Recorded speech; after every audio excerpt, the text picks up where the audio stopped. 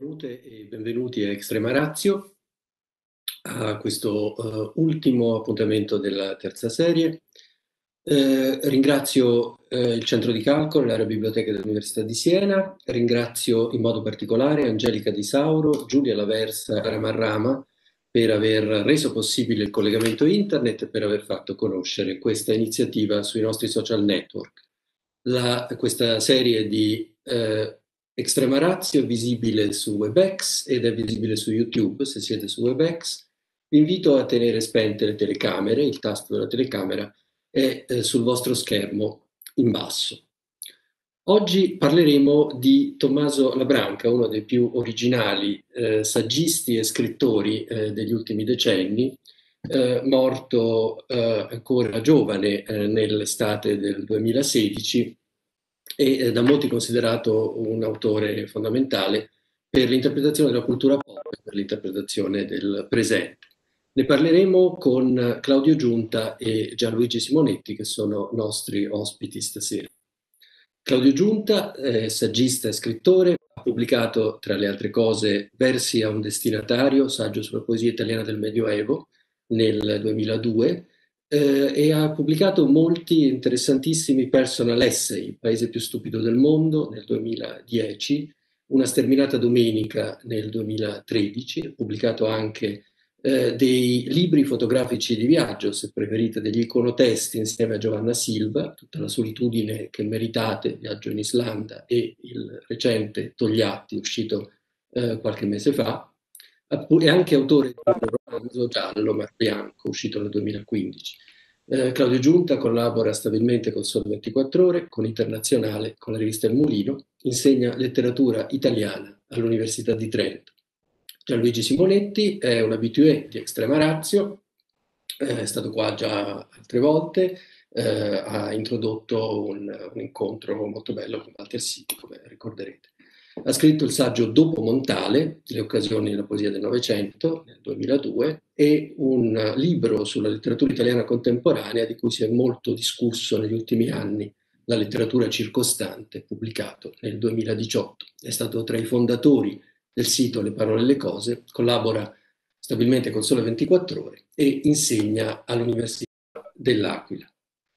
Eh, comincerei da Claudio Giunta che ha eh, da poco pubblicato un saggio eh, molto eh, bello che vi consiglio vivamente di leggere su Tommaso Labranca intitolato Le alternative non esistono, che è sia un, un saggio personale sia una ricostruzione della vita e dell'opera di Tommaso eh, Labranca.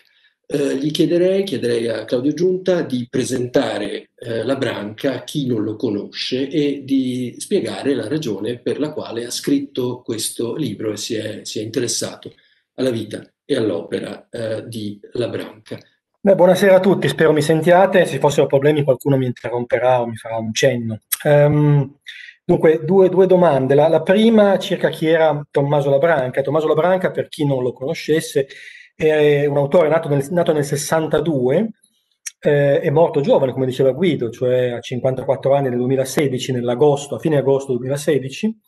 Ehm, nasce in una famiglia di immigrati eh, a Milano, ehm, di, di, di, così, di, estrazione piccolo borghese proletaria, e ha un percorso di studi un po' anomalo rispetto credo a, quello di molti che stanno ascoltando, cioè non fa l'università, dopo le medie fa una scuola per interpreti a Milano, dopodiché non fa l'università e comincia a eh, cercare dei lavoretti, soprattutto in campo editoriale.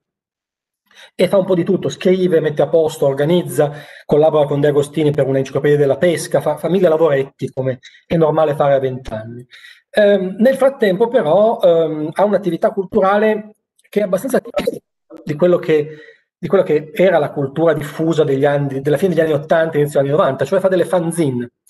Um, la più famosa, la più nota, anche quella che ha avuto un pochino più di fortuna, si chiamava Trashware, Trashware che esce nei primi anni 90. E intanto in quegli anni um, pubblica tre piccolissimi librettini a spese proprie relativi appunto alla cultura pop. Qualcuno si accorge di questi eh, librettini, uno di quelli che se ne accorgono è Tiziano Scarpa, che gli dà una mano insieme ad altri amici per raggiungere un editore. eh, la Branca non aveva nessun contatto con, la, con l'università, con l'editoria, eccetera, quindi deve contare sulla gentilezza di un po' di amici milanesi. Um, il libretto, o meglio i tre libretti, arrivano a Castelvecchi e che li pubblica in un solo libro che si chiama Andy Warhol era un coatto è del 94 e il libretto ha un certo successo negli ambienti intellettuali, soprattutto lombardi. Da lì in poi per 5-6 anni eh, la Branca è, diventa un po' il divo della, della cultura milanese, eh, nel senso che scrive altri libri, eh, Estasi del Pecoreccio l'anno dopo, Cialtronesco con audio addirittura nel 98, se non ricordo male, Neoproletariato nel 2002 e soprattutto diventa un autore televisivo, cioè riesce a campare bene, a vivere bene dei, dei proventi della, della, della, scrittura televisiva. Lavora un po' a Telepiù, poi lo chiamano addirittura eh, a, a, Rai 2 con Fazio e fa l'autore di testi e va anche in video in una trasmissione che, che ha avuto molto successo nel 97 ehm, e di cui adesso non mi ricordo il nome perché sono una persona anziana, eh, ne farà, mi verrà in mente tra poco. Farà poi un'altra trasmissione, l'ultimo valzer, sempre con Fazio e Baglioni, ehm, che avrà però meno successo.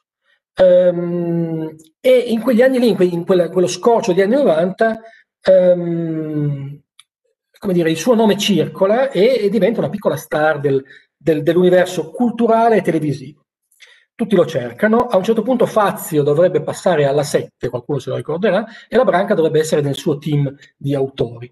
Um, la cosa non va in porto, i rapporti fra Fazio e eh, la Branca si, si, si guastano e negli anni successivi la Branca continua a scrivere e a lavorare in televisione, però diciamo, la, sua, la sua stella si appanna un po'. Eh, comincia a pubblicare per case editrici più piccole, torna da Castelvecchi, poi addirittura crea una sua, una sua personale casa editrice, 20090, che è ancora eh, attiva eh, con la collaborazione di, di, Luca Rossi, che adesso è l'unico editore, fa dei piccoli libri molto belli, ma chiaramente con, che hanno pochissima circolazione. In televisione fa delle cose molto piccole, va in radio, lavora un po' per Rai Play, un po' per eh, la radio del Sole 24 Ore, ma insomma gli ultimi dieci anni della sua vita sono anni anche molto difficili dal punto di vista economico perché deve cercare di fare qualche soldo con collaborazioni pagate a pezzo per, per riviste eh, forse non all'altezza della sua intelligenza e della sua fama, per quanto rispettabilissime come Cronaca Vera, e prima una lunga collaborazione con una rivista importante come Film TV. Nel, 2000, nel 2016 muore improvvisamente. Eh, la seconda domanda che mi fa, questo è il quadro molto, molto, molto generale della vita di Labranca. Um, quindi un personaggio che sta a cavallo tra cultura scritta e cultura visiva, che nei suoi libri mette insieme queste due esperienze e queste due conoscenze. Um, perché ho scritto il libro? Perché per me la branca è stato molto importante. Io uh, avevo un po' più di 20 anni, fra i 20 e i 25 anni, uscivo da un dottorato alla scuola normale ed ero quindi un, un, dire, un, giovane nerd intellettuale e leggere i libri di La Branca, quei libri in quegli anni, da Andy Warhol in poi, mi ha molto aiutato per dirla in sintesi, a prendere meno sul serio le cose che sembravano importanti all'università eh, e che a volte non erano affatto serie, ehm, e a prendere più sul serio le cose eh, pop che avevano popolato la mia infanzia e adolescenza. E doppio, questa doppia azione per me è stata molto importante. Allora, quando è morto, ho pensato che fosse un buon modo di ricordarlo, raccontare la sua vita, e fosse anche un buon modo per raccontare in maniera un po' originale eh, gli ultimi 30 anni di eh, cultura italiana. Questo è in sintesi eh, il che cosa e il perché. Adesso mi verrà forse anche in mente il nome della trasmissione. Benissimo, grazie, grazie Claudio. Eh, volevo eh, chiedere a, a, Gianluigi Simonetti, che, che eh, dialogherà con, con, Claudio Giunta oggi, eh, di interpretare, cominciare a interpretare il, il, sottotitolo che abbiamo dato a questo incontro, cioè eh, La branca eh, ieri e oggi. Eh, ponendo la questione in modo un po' pomposo e poco labranchesco, che cosa è vivo eh, secondo te e che cosa è morto di eh, La Branca oggi? Sì, allora cominciamo da, dalle cose vive, sono molto più interessanti, anche più numerose, e c'è tanto da dire, insomma, io sarò breve naturalmente, l'esperto è Claudio, io sono semplicemente un lettore affezionato di La Branca, però devo dire un lettore tempista, nel senso che effettivamente ho avuto la fortuna di cominciare a leggerlo quando cominciavo a pubblicare, poi l'ho seguito in questa sua parabola che, che Claudio ha, ha, descritto. E la cosa che mi sembra viva, soprattutto di Labranca, è la cosa che mi sembrava viva già così in diretta, dalla sua prima apparizione eh, con i primi due libri Castelvecchi in particolare, Andy era un coatto, eh, Estasi del pecoreccio. E cioè eh, la cosa che eh, si notava subito era sua, mh, mm, questo suo metodo, questo suo approccio alla cultura pop molto particolare, perché era, una, era al tempo stesso molto serio, molto rigoroso, eh, molto analitico e intelligente, però mai serioso, mai ammuffito, mai accademico. E in questo senso, come diceva Claudio, era un ottimo antidoto, soprattutto per chi invece stava nell'accademia. Ehm, la, la, particolarità nasceva dal fatto che eh, questo approccio non c'era e non c'è, mi sembra tuttora tanto nella cultura italiana, cioè gli intellettuali italiani di solito o schifano a prescindere il mondo del pop per un vizio di fondo. Parla, eh, Claudio parla di sindrome da, da, liceo classico nel libro, no? Eh, senso di colpa, piccolo borghese, entrambe le cose. Quindi hanno un atteggiamento molto difficile nei confronti della, cultura pop e soprattutto lo avevano negli anni 90, quando, quando, apparivano le prime cose di La Branca. Oppure, e questa è una cosa che si è diffusa di più col tempo, l'apprezzano, apprezzano il mondo pop a prescindere. E un po' anche qui per partito preso, quindi glorificando, riscoprendo, come si dice, a volte delle cose orrende, e con un atteggiamento un po' da idolatri, no? E allora eh, c'erano e ci sono, mi sembrano questi due, questi due atteggiamenti opposti, cioè un eccessivo senso di colpa e quindi un atteggiamento difensivo, soprattutto da parte dell'accademia, oppure una feticizzazione eccessiva, aggressiva, eh, che fa passare poi cose mediocri o pessime. Oppure, terza via, molto diffusa anche questa, mescolare l'alto e il basso, eh, usando la cultura alta per nobilitare la cultura bassa e la cultura bassa per ironizzare la cultura alta. Quindi intellettualizzando il pop, anche troppo, e popizzando anche troppo l'arte di maggiore ambizione formale. E questa è una cosa che soprattutto invece nell'università si è, si è usa negli anni. L'università è il posto in cui nessuno vuole passare per ingenuo e questa strategia sembra molto sofisticata.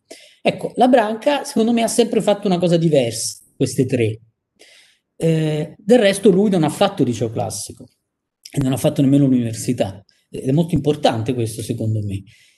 E nessun tipo di snobismo, né snobismo dall'alto né snobismo dal basso, non ha mai mescolato nulla, non ha mai feticizzato, non ha mai disprezzato, ha provato sempre a eh, confrontarsi col mondo della cultura pop o trash addirittura agli inizi, distinguendo e giudicando le opere, come si dice un po' pomposamente, appunto iuxta propria principia, cioè secondo la loro logica interna, secondo le loro regole. E quindi la dose rarissima di La Branca, cioè non la confusione di chi mette tutto sullo stesso piano, un calderone antigerarchico, ma l'intelligenza di chi invece fissa le gerarchie, distingue fra bello e brutto, ehm, e questo in un'epoca in cui le, in questi 20-30 anni in cui le gerarchie sono sempre più sfaldate, no? per stanchezza della forma, per confusione, per incapacità di organizzarle. Quindi è vivo secondo me questo approccio di Labranga, ma era resta minoritario, anche perché è più difficile, richiede competenza, richiede più familiarità, richiede anche più amore per le cose pop che si studiano. E poi anche, credo, perché è meno spettacolare, è meno eh, adatto alla comunicazione massa, perché la comunicazione di massa invece preferisce appunto opinioni forti, eh, pochi argomenti, poche analisi e ama la confusione e ama l'assenza di gerarchie. Mi è capitato, eh, faccio un esempio così per dare un senso più concreto di quello che sto provando a dire, mi è capitato di pensare alla Branca qualche mese fa, eh, prima che uscisse, prima che uscisse il libro di, di Claudio, ehm, c'era stato questo dialogo in rete tra Michela Muggia e Chiara Valerio, mm, una serie di incontri, di dialoghi tra di loro, in cui a un certo punto in uno di questi hanno finito a parlare proprio di Battiato, Franco Battiato. E Battiato, come sa chi conosce la Branca, è un cavallo di battaglia di La Branca, ne ha parlato spesso. Lo schema del dialogo prevedeva un contraddittorio tra Muggia e Valerio, e quindi anche in questo caso su Battiato le posizioni erano opposte. Chiara Valerio che parlava molto Battiato, un genio, un intellettuale con sintetizzatore, e Michela Muggia che parlava male di Battiato, è un finto intellettuale, le canzoni non si capiscono, eccetera. Allora ho pensato alla Branca, ci sono alcune pagine del suo libro Inauti, che è stato ricordato prima, Cialtro Nesco, in cui eh, la Branca analizza alcune canzoni, una in particolare di Battiato. Ora, entro nel merito di che cosa hanno detto i tre, eh, Valerio, Muggia, eh, la Branca su Battiato, non importa adesso il loro giudizio su Battiato. Mi colpiva soprattutto il metodo, il come ne parlava.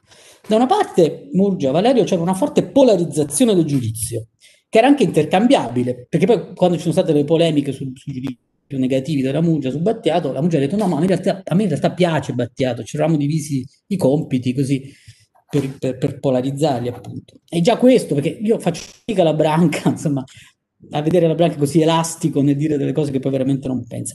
Però soprattutto c'era questa forte polarizzazione, ehm, eh, per cui eh, appunto opinioni forti, mh, giudizi secchi, chiari, senza sfumature, anche non particolarmente informati in realtà su Battiato, soprattutto sul versante mondo, però ottimi per provocare reazioni, per suscitare discussioni, polemiche, cosa che poi puntualmente è successo. Invece cosa faceva la Branca? La Branca eh, diceva non c'è, Battiato non è cattivo o buono, c'è, lo dice in cialtronesco, un la branca cialtrone e c'è un Battiato, c'è un Battiato cialtrone e c'è un Battiato non cialtrone. Bisogna distinguere all'interno della sua opera la parte cialtronica e la parte non cialtronica.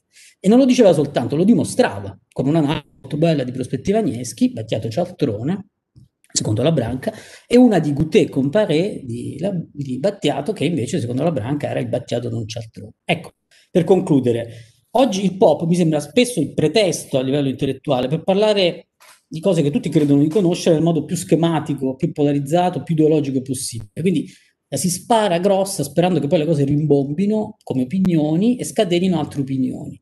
Invece la Branca faceva il contrario. Eh, conosceva molto bene la cultura pop, la amava, eh, in modo profondo, viscerale, non aveva una strategia comunicativa, analizzava, distingueva. E secondo me è molto importante la, disti- la differenza fra un'opinione e un'analisi. La Branca ha sempre fatto delle analisi.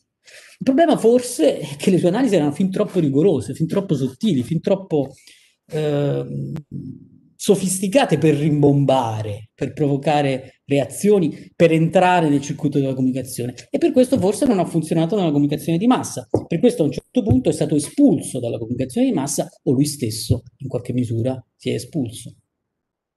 Grazie Gigi eh, di quello che appunto di aver avviato il, il, il, dibattito su questi temi. Una delle cose che accomuna eh, Claudio Giunta, Gianluigi Simonetti e chi vi parla è eh, una allargata ma, ma sostanziale eh, comunanza generazionale.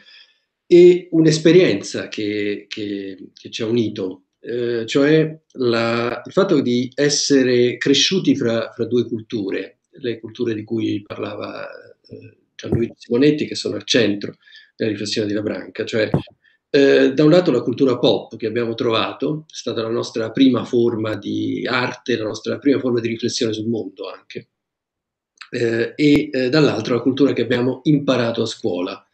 Ed essendo tutti e tre prodotti delle scuole di Stato, abbiamo eh, avuto ad un certo momento il, il, il problema di conciliare questi due, eh, due, due, elementi della nostra, della nostra infanzia, adolescenza e giovinezza, e del nostro modo di vedere le cose.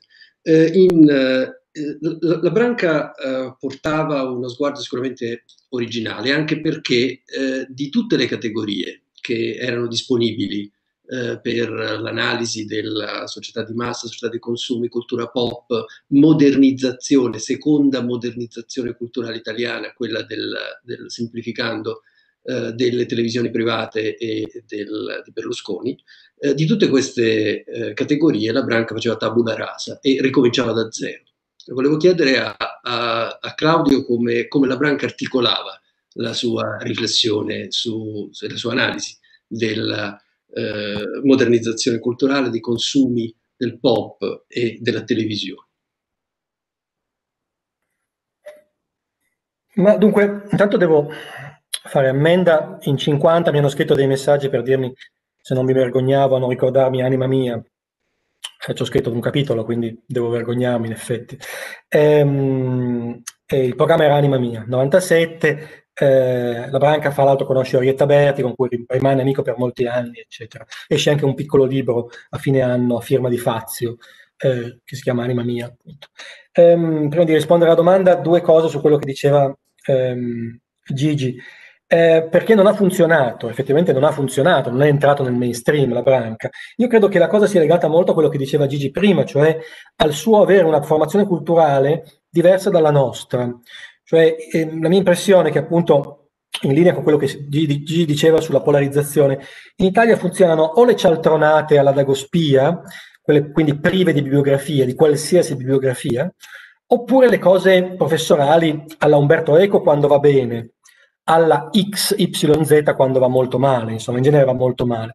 Quindi il fatto che lui fosse un saggista che non aveva, come dire, passato degli anni nell'accademia e che non faceva delle note in cui citava Baudrillard, poniamo, eh, questo lo ha sicuramente danneggiato. E un altro danno è stato dare ai libri che, che scriveva dei titoli così leggeri, allegri, eh, come dico nell'introduzione, come, come, come, come, diceva già Flaiano, insomma, come dicono tutti quelli che conoscono un po' questo paese, l'Italia è, gli italiani sono un popolo che, in cui, dire, che tende a prendersi sul serio, eh, anche quando serio non è, e per essere presi sul serio occorre presentarsi come seri. E se uno si presenta come leggero come, o come ironico, con titoli come Charlton Escon oppure eh, Andy Waller un coatto o Estasi del pecoreccio, la cosa non aiuta. Quindi da un lato era troppo serio per, per, per l'immondizia, per, per, il pettegolezzo, e dall'altro era troppo, troppo, allegro per i professori. E questo, questo, mondo di mezzo in Italia non era e non è, forse un po' oggi un pochino di più, non era molto popolato a quel tempo. Nel libro cerco di fare ti metto accanto qualcosa, ma quel qualcosa in genere è anglosassone, insomma. Forse nei paesi anglosassoni avrebbe avuto un pochino più di ossigeno in quegli anni, la branca. In Italia direi di no. Um, uno pensa, ecco, so, uno viene, viene in mente Beniamino Placido in quegli anni, che faceva un discorso sul pop da professore di letteratura americana, e, e in un modo che era intelligente e simpatico, ma certamente molto diverso da quello di, um, di La Branca. Per venire alla questione che, che sollevava Guido, due cose, uno sull'articolazione del discorso e l'altro sul, sulla, sul problema della modernizzazione che ha toccato anche Gigi. Allora, per quanto riguarda l'articolazione del discorso, eh, la cosa interessante, la mia impressione, io sono, non sono un contemporaneista, quindi non ho un, un, un repertorio di letture vastissimo alle spalle per quanto riguarda l'ultimo mezzo secolo, ma è molto originale la forma del discorso di Labranca, cioè io l'ho chiamato, credo, saggio romanzato, nel senso che la branca non ha le spalle abbastanza larghe per scrivere un saggio accademico, ne vuole, e allora si inventa dei personaggi ai quali fa indossare le idee che, che, che lui pensa. E quindi Neoproletariato, Estasi del Pecoreccio, lo stesso piccolo isolazionista, sono libri eh, di, di, impianto narrativo, ma che di narrativo hanno, hanno, molto poco, i personaggi sono evanescenti, il plot è molto debole e quello che viene fuori, quello che emerge, quello che conta sono le idee. Um, però non voglio minimamente ca- coniare una nuova categoria eh, narratologica o teorico-letteraria, perché sapete quanto io sia alieno da quel tipo di discorsi. Però certamente è una, a me non mi pare una forma, non dico unica, ma certamente molto originale nel panorama della letteratura contemporanea. Poi potete, potete dire, dire, meglio di me. Eh, raccontare una storia per dimostrare qualcosa, per portare avanti delle idee, per, per formulare delle idee. Anche ai Duci, il romanzetto sulla famiglia romena, è un piccolo saggio sull'immigrazione con molte osservazioni interessanti, narrativamente molto spoglio, perché, perché così era la branca. Quindi, quanto all'articolazione del discorso, secondo me c'è da riflettere, non dico studiare, però c'è, c'è da riflettere sul, sulla peculiare così, grana narrativo-saggistica che, riesce, che, che, che, la branca riesce a, a combinare. Um, quanto al, al, cosa, cioè a qual è, il, a qual, è, qual è secondo me qual è il problema che io ho messo al centro di un paio di capitoli del libro, eh, diceva bene Guido, è quello della modernizzazione. Allora, nel libro ehm, parto da, un, da, un'osservazione, credo di Sciascia, però alla fine poi uno, come, così come si dimentica i titoli delle, delle trasmissioni, finisce per attribuire delle frasi a gente che non l'ha mai dette, ma insomma diciamo Sciascia, eh, diceva che la cosa più interessante è fare e riflettere su come gli intellettuali hanno attraversato il fascismo il fascismo era lì, cioè per vent'anni era una cosa che non potevi evitare, quindi tutti quanti hanno preso posizione. Um, e la modernizzazione per le generazioni successive, quelli nati poco prima della guerra o un poco dopo la guerra, la modernizzazione è la cosa, è la cosa può, da cui non si può distogliere lo sguardo e soprattutto il lato più, più negativo e triviale della modernizzazione, cioè il consumismo. Allora, questo è non dirò il problema, ma uno dei problemi di La Branca, cioè la cosa che lo interessa, una delle cose che lo interessano di più. E interessa di più anche me, perché appartengo, come diceva Guido, appunto a quella generazione che queste cose le ha avute negli occhi, insomma. La Branca appartiene, nel 62 appartiene alla generazione che per prima probabilmente le ha avute negli occhi queste cose. e quindi anche il primo che, che riflette in questo modo originale. Allora, semplificando molto, diciamo che eh, credo che di usare la frase eh, gli intellettuali in genere non hanno gradito, per, per usare un eufemismo, cioè diciamo che, che la, la, l'intellettualità del secondo Novecento ha nel consumismo, nella modernizzazione sfrenata, nella, nella modernizzazione sbagliata, uno dei suoi, eh, dei suoi topo, insomma, sue, dei, suoi, dei, suoi, punti di riflessione più, più, più ovvi, più, più, ripetuti, insomma, da, da, da, da Zolla a Pasolini, e, e, eccetera, eccetera. Ed è una di quelle cose che mette d'accordo un po' tutti, destra e sinistra, insomma, cioè eh, qualcosa è andato storto nella storia di questo paese, dell'Europa e dell'Occidente, la modernizzazione sì ma non così, ehm, sviluppo senza progresso, eccetera, eccetera. Ora la Branca, che appunto non aveva una formazione universitaria, quindi tutte queste idee un po' ricevute, non le aveva ricevute, eh, ha un occhio un pochino più libero e non è sciocco naturalmente, quindi vede i guasti della modernizzazione, li vede in maniera molto originale e intelligente, ehm, subito direi, all'inizio già negli anni 90, quando ha 35 anni, nei libri che citava prima Gigi, cioè Estasi del pecoreccio, Nel proletariato, eccetera. Però vede anche il bello, l'interessante, il, il, il, il degno di nota della modernizzazione del consumismo. E quindi, come diceva Gigi, appunto, sceglie non di, di, di piangere o di condannare, o di indignarsi, cosa molto rara in questo paese di indignati, ma di analizzare, di riflettere sulle cose. E quindi smonta le cose, cioè vede come sono fatte dentro. Non fa come, come, come Eco che costruisce delle genealogie concettuali o storiche, prende le cose e le, le smonta. Cioè fa un, discorso più che da sociologo, da filosofo, da etnografo. Eh, è dentro le cose, le smonta e vede come funzionano nella fine, nella fine, del libro cito una cosa interessante, cioè, nei suoi diari che ho trovato a un certo punto, dice eh, a 30 anni, questa notte ho registrato, ho comprato un registratore e ho registrato 4 ore di Rete A. Eh, Rete A era la televisione delle televendite, del porno eh, casereccio che, che, molti di noi ricordano, insomma. E lui fa una cosa da scienziato sociale, eh, un po' vieux probabilmente, ma insomma, eh, ma, ma, ma, sensatissima, cioè senza spogliare bibliografia, il regista rete A la osserva e vede quello che c'è dentro. E, ehm, e, questo è il suo modo di articolare il discorso, cioè un modo da osservatore partecipante, di uno che è dentro le cose, non ha pregiudizi ideologici, questa è un'altra cosa su cui bisogna forse dire qualcosa, anzi la dico subito se volete, e, ehm, e quindi ha un, occhio, ha un, occhio, che nessuno della sua generazione probabilmente aveva. E questo è l'interesse delle sue pagine, la sua originalità. E, ehm, e sull'ideologia anche questo va aggiunto, cioè non ha non ha pregiudizi, cioè Guido chiedeva a, a Gigi prima cosa è rimasto e cosa, e cosa, cosa, è, cosa non è più attuale. A me sembra molto attuale la sua mancanza di pregiudizi, sua, il suo arrivare davanti alle cose senza sapere prima cosa dovrà dire.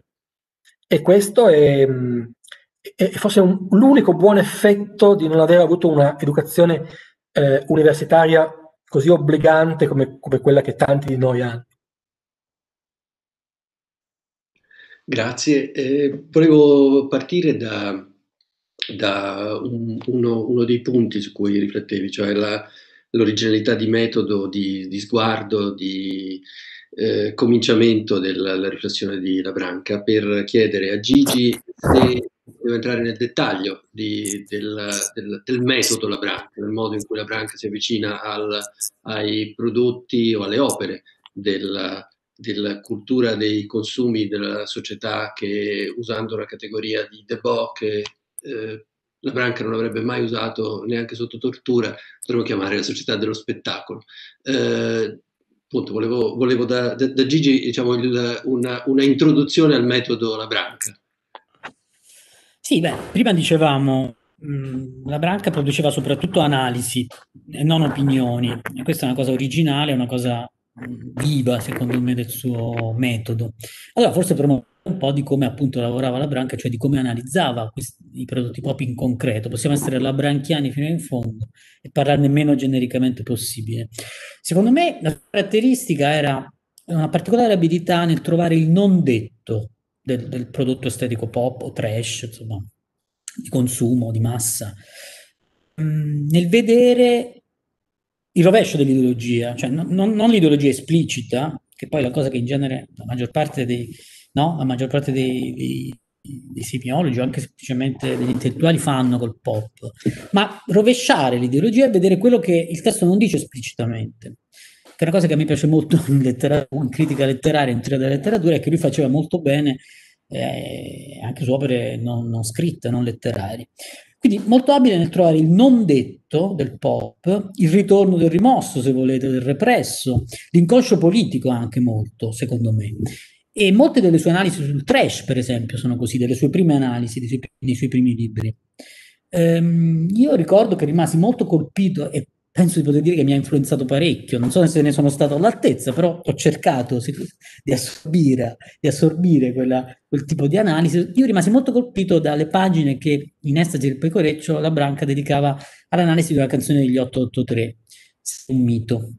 Ora, non so se possiamo, se possiamo perché insomma avevo preparato una parte delle del cose insomma, di la, che la Branca scrive eh, su quella canzone. Naturalmente mh, mm, facciamo una sintesi, eh, provo anche magari a farvi sentire soltanto dei frammenti. Il pezzo lo conoscerete, immagino.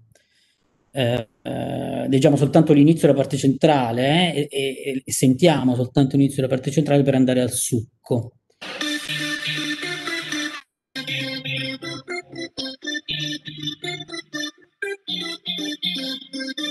Questa è la versione, una versione remix dell'originale. Noi non, non sentiremo l'originale perché saremo filologi della Branchiani e sentiremo la versione, il remix di, di Sei un mito che preferiva in realtà la Branca, e cioè il remix di Stefano Secchi.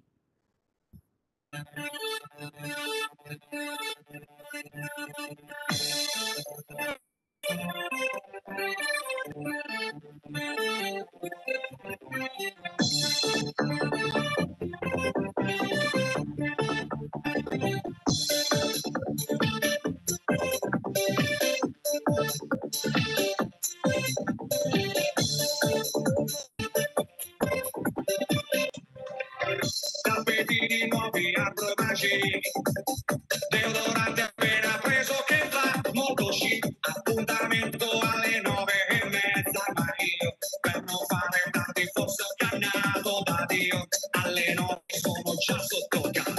Ecco, per il momento fermiamoci qui La Branca nota che il cuore di questa canzone è nella differenza di classe tra lui e lei, no? Lui va a prendere lei sotto casa, lei scende, escono e passano una serata insieme, una serata e una nottata insieme. E, ehm, la differenza di classe non è un argomento esplicito, no? Di sei un mito. Noi sappiamo di lei che è un mito, come tutti i miti è pieno di assoluto, di lei intravediamo soltanto il body e balconcino, Sappiamo che abita in un'altra dimensione, per, sappiamo perché lui ci dice che lei sta in un'altra dimensione della realtà, una dimensione superiore. È bellissima, è intelligentissima ed è pure simpatica. E invece lui, eh, lui è di estrazione popolare o piccolo borghese perché ha la Magic in macchina, ha cambiato i tappetini, li ha comprati nuovi per, per l'appuntamento ehm, ed è arrivato in anticipo all'appuntamento. Eh, come nota la Branca, se Grace Jones, se Grace Jones arriva con tre ore di ritardo a un appuntamento, mentre Fantozzi, quando va al casino di Monte Carlo col Duca Conte Semenzana, arriva in stazione alle 4, anche se il treno parte alle 11. Quindi c'è questa differenza. Ma eh, non è solo questo, la, la Branca nota il dettaglio, che il dettaglio veramente commovente del pezzo è che lui appunto non si accorge, quello con l'arbre magique, non si accorge della differenza di classe. E lo possiamo dedurre da un passo successivo. Quasi esplodo quando mi dici dai, vieni su da me che tanto non ci sono i miei, io mi fermo a prendere una bottiglia perché voglio festeggiare questa figata anche se forse non mi sembra neanche vero. Ecco, ecco il segnale, qui possiamo leggere direttamente la branca. Ecco il segnale della differenza di classe che, pur venendo costantemente negata, continua a vivere sotto traccia. Mentre i genitori dei proletari, di noi proletari, concedetemi, non escono mai, o se lo fanno si spostano su raggi brevissimi, il supermercato, il bar, l'appartamento dei vicini e passano le loro serate dormendo guardando la tv. I genitori di lei, a questo punto inconfutabilmente ricchi, hanno una vita mondana più intensa. Dove saranno andati la sera degli eventi qui narrati? A teatro forse, a cena con colleghi dirigenti, oppure, molto probabilmente siamo durante un fine settimana, nella loro villa di Fimurnash, in italiano Fino Mornasco, provincia di Como, o in Liguria. Fondamentale è il dettaglio della bottiglia per la branca, no? Io mi fermo a prendere una bottiglia perché voglio festeggiare questa figata con te. La bottiglia, scrive la branca, è un altro segnale primario di come la differenza di classe, nonostante le e l'ingenua, l'ingenua credenza dell'icona 883, dell'883, eh, la differenza di classe continua a prosperare. Era necessaria la figlia? No. Se lui non fosse appartenuto a una classe sociale inferiore a quella di lei, avrebbe saputo che nel bar di casa di lei lo aspettavano brandy vecchissima riserva, champagne annata e raffinatissime chartreuse. Ma l'icona 883, memore del proprio sguardito armadietto dei liquori, che comprende due sole bottiglie, una smezzata di vicino e una intatta di amaretto di Caronno, poi approfondiamo questa cosa dell'amaretto di Caronno, per adesso teniamo il filo. Eh, memore del proprio armadietto dei liquori, crede di far evitare a lei la figura che avrebbe fatto senza dubbio lui in un caso del genere. Acquista dunque di volata in un bar notturno a un prezzo di furto una bottiglia di Santino con tappo in plastica. La bottiglia verrà aperta ma non consumata. Persino i filippini, il mattino dopo, filippini di lei naturalmente, si asserranno dal toccarla. Allora, chiudiamo con quella che è un po' la rivelazione finale di Sei un mito. Un ragazzo una ragazza senza parano, senza dirci io ti amo, io ti sposerei, solo con la voglia di stare bene tra noi, anche se soltanto per una sera appena. E riprendiamo la branca. Ecco il momento dell'inganno. Lui è sicuro di aver trovato la tipa cui piace divertirsi e che volentieri si presta a ricevere l'estremo oltraggio senza avanzare richieste matrimoniali. Incredibile abbracciati noi due, eccetera. Ma l'icona 883, limitato com'è nell'analisi dei casi della vita, è abituato a scivolare, peraltro felicemente, bello questo inciso secondo me, eh? peraltro felicemente, abituato a scivolare peraltro felicemente sullo specchio delle apparenze, non si pone la domanda cruciale perché non mi chiede di sposarla? Il perché è semplice. Lei è ricca, bella e raffinata, promessa da tempo al figlio di un industriale, spesso in viaggio con il lavoro, inganna il tempo con rapide cavalcate sul divano di casa, preferendo come partner ex compagni di classe scolastica, sempre inferiori come classe sociale. Figuriamoci che questa va a implorare sposami all'icona 883, che deve pagare ancora le rate dell'auto e che lavora come apprendista per un'impresa di impianti telefonici. Ecco, poi c'è la questione delle note. Eh, spesso, non so se Claudio è d'accordo, sono molto belle le, le, le, note di La Branca, spesso le cose più belle, anche letterariamente, sono proprio nelle note. E qui, eh, in questa nota no, che, che, riguardava l'amaretto di Caronno, troviamo un altro discorso che si potrebbe ampliare su, sulla teoria del trash di La Branca. Leggiamo allora la nota. I cosmologi danno per altamente probabile l'esistenza nell'universo dell'amaretto di Caronno, o comunque la sua comparsa a breve scadenza, a conforto della loro teoria, gli studi recano la potenza della doppia approssimazione nominale e geografica. Caronno Pertuselle è un comune lombardo che si trova a soli 5 km dal più celebre Saronno, Maretto di Saronno. Tale potenza approssimativa non può essere trattenuta troppo a lungo nell'universo dell'inespresso, dovrà necessariamente esplodere in qualche supermercato. E già qui si intravede no, la teoria del trash come emulazione fallita che eh, la Branca aveva sviluppato e svilupperà anche in Ecstasy e Pecore, cioè già sviluppata in um, Andy Walk 8. Eh, io personalmente adesso chiudo, insomma, dopo, questa, dopo aver letto queste pagine contattai un mio amico leopardista molto bravo, Francesco De Rosa, e decidemmo di scrivere qualcosa sui primi quattro dischi degli 883, sui testi, no? proprio con questo metodo.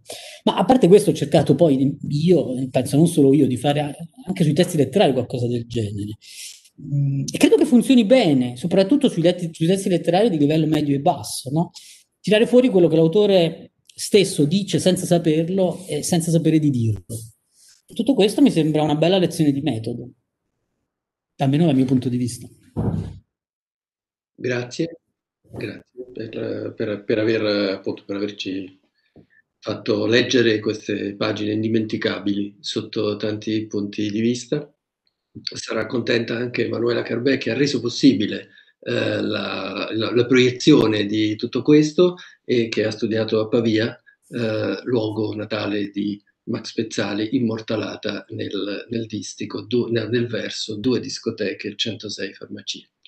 Eh, lascio adesso la parola a Claudio eh, per eh, parlare eh, sia del, del, metodo di La Branca, di come lavorava La Branca, sia eh, anche della eh, terminologia di La Branca. La Branca ha inventato una serie di, di, di parole, alcune efficaci, altre forse meno efficaci, che, che però hanno, hanno fanno parte del suo stile e hanno contrassegnato la, la sua opera. Trash, cialtrone, cialtronese, solo, neoproletariato. Ecco, volevo, volevo sentirti su, parlare di, di, di, questi, di questo lessico lavranchiano, oltre che del metodo di Lavranca. Sì, avrei molte cose da dire su ciò che diceva Gigi e su quel, su quel, su quel brano e sulla branca interprete del pop, però ci siamo dati dei, dei ruoli stasera e quindi ehm, magari dopo perché lì, lì, in quel testo, in quell'analisi, la Branca fa anche una cosa che noi critici letterari facciamo spesso, cioè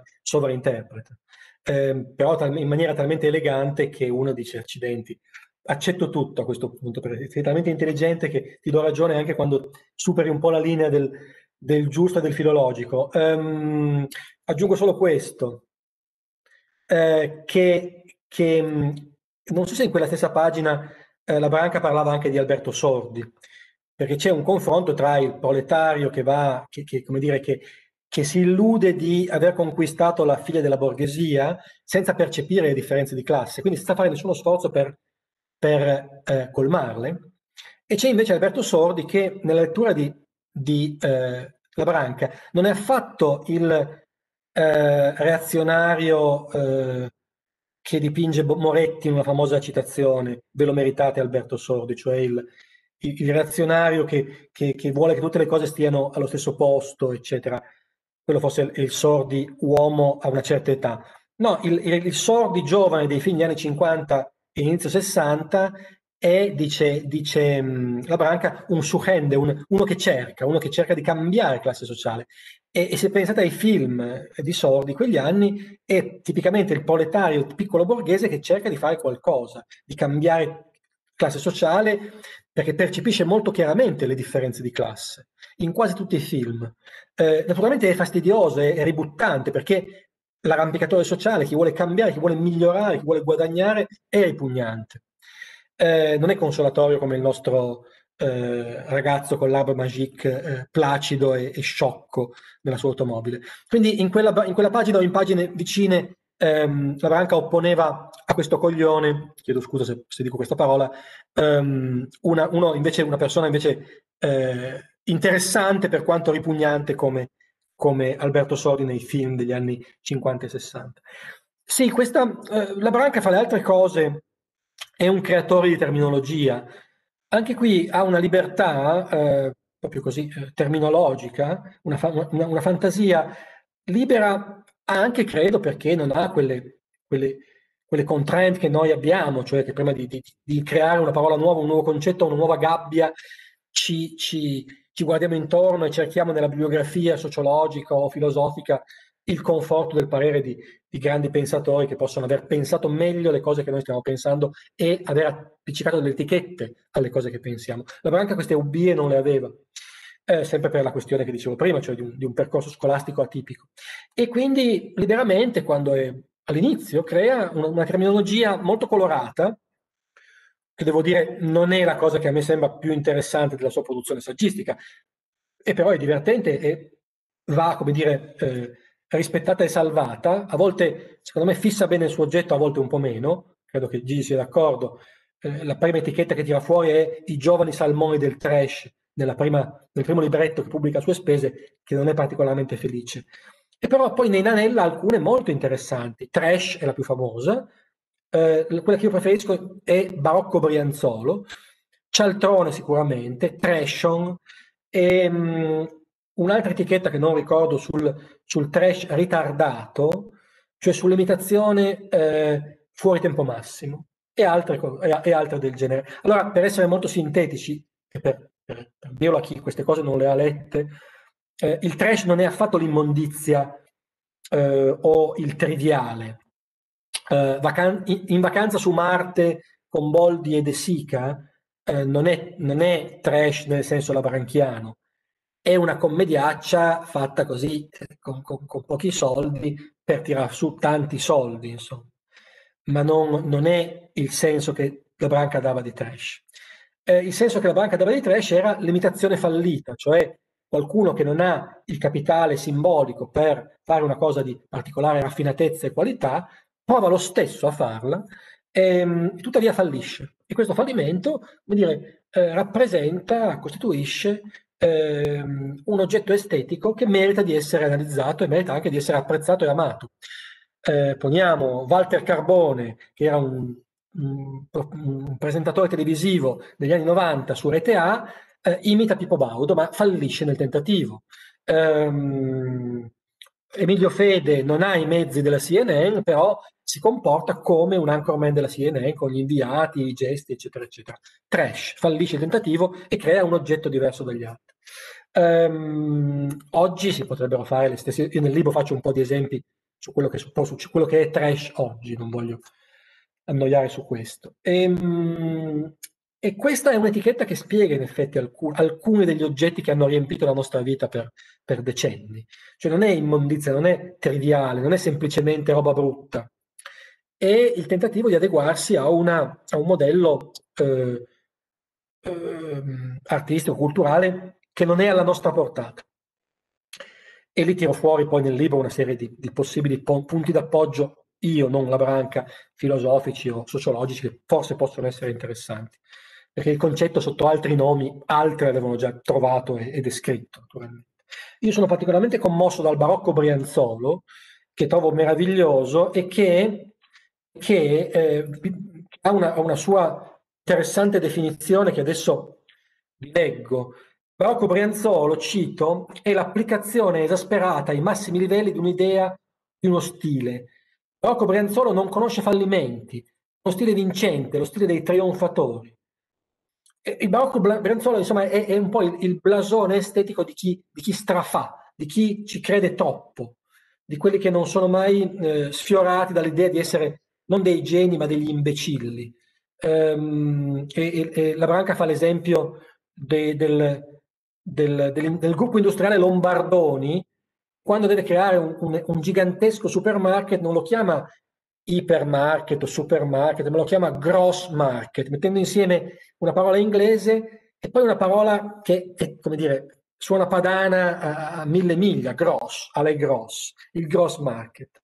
Allora, nella pagina in cui, in cui commento questo, questa bella etichetta, dico anche che Barocco Brianzolo come dire, si può applicare a molte, molti prodotti dell'industria culturale odierna, insomma, cioè lo scrittore che vuole fare grande e, e poi però, insomma, fallisce miseramente senza rendersene conto, ehm, il trombone, l'intellettuale trombone, ed è piena l'Italia, ecco, quell'etichetta funziona perfettamente. E poi ci sono tante derivazioni molto interessanti che, che la Branca guarnisce sempre di esempi molto pertinenti. Poniamo la pellicceria Annabella, fa pubblicità eh, in cui a- allude continuamente a Pretty Woman. So che Pretty Woman era uscito sei anni prima, quindi c'è questo ritardamento dovuto alla, alle periferie nella quale si trova la pellicceria Annabella rispetto a, a, a Julia Roberts e Hollywood. Um, quanto al cialtrone, al cialtrone, il cialtrone che dà un mezzo titolo anche al, al libro Inaudi, che credo fosse stato scelto in realtà da, dai, dai, dai, redattori di, di stile libero, eh, Cialtrone è proprio l'operazione, Cialtronesca è proprio l'operazione di, a cui alludeva Gigi prima, cioè il tentativo di mescolare l'alto e il basso, che è un tipico riflesso da intellettuale, ehm, che come noi vive tra alto e basso, tra Proust da una parte e, eh, e, e, le canzonette pop dall'altra, Um, questo tentativo di, di mescidazione, di ibridazione non riesce quasi mai, è sempre snobistico, perché lo fa l'intellettuale, e, e Cialtronesco è proprio l'etichetta che, che, che, la Branca appone in maniera molto pertinente a questo insopportabile esercizio. Um, però ecco, non, non, so, non, tengo particolarmente poi alla terminologia. Ecco.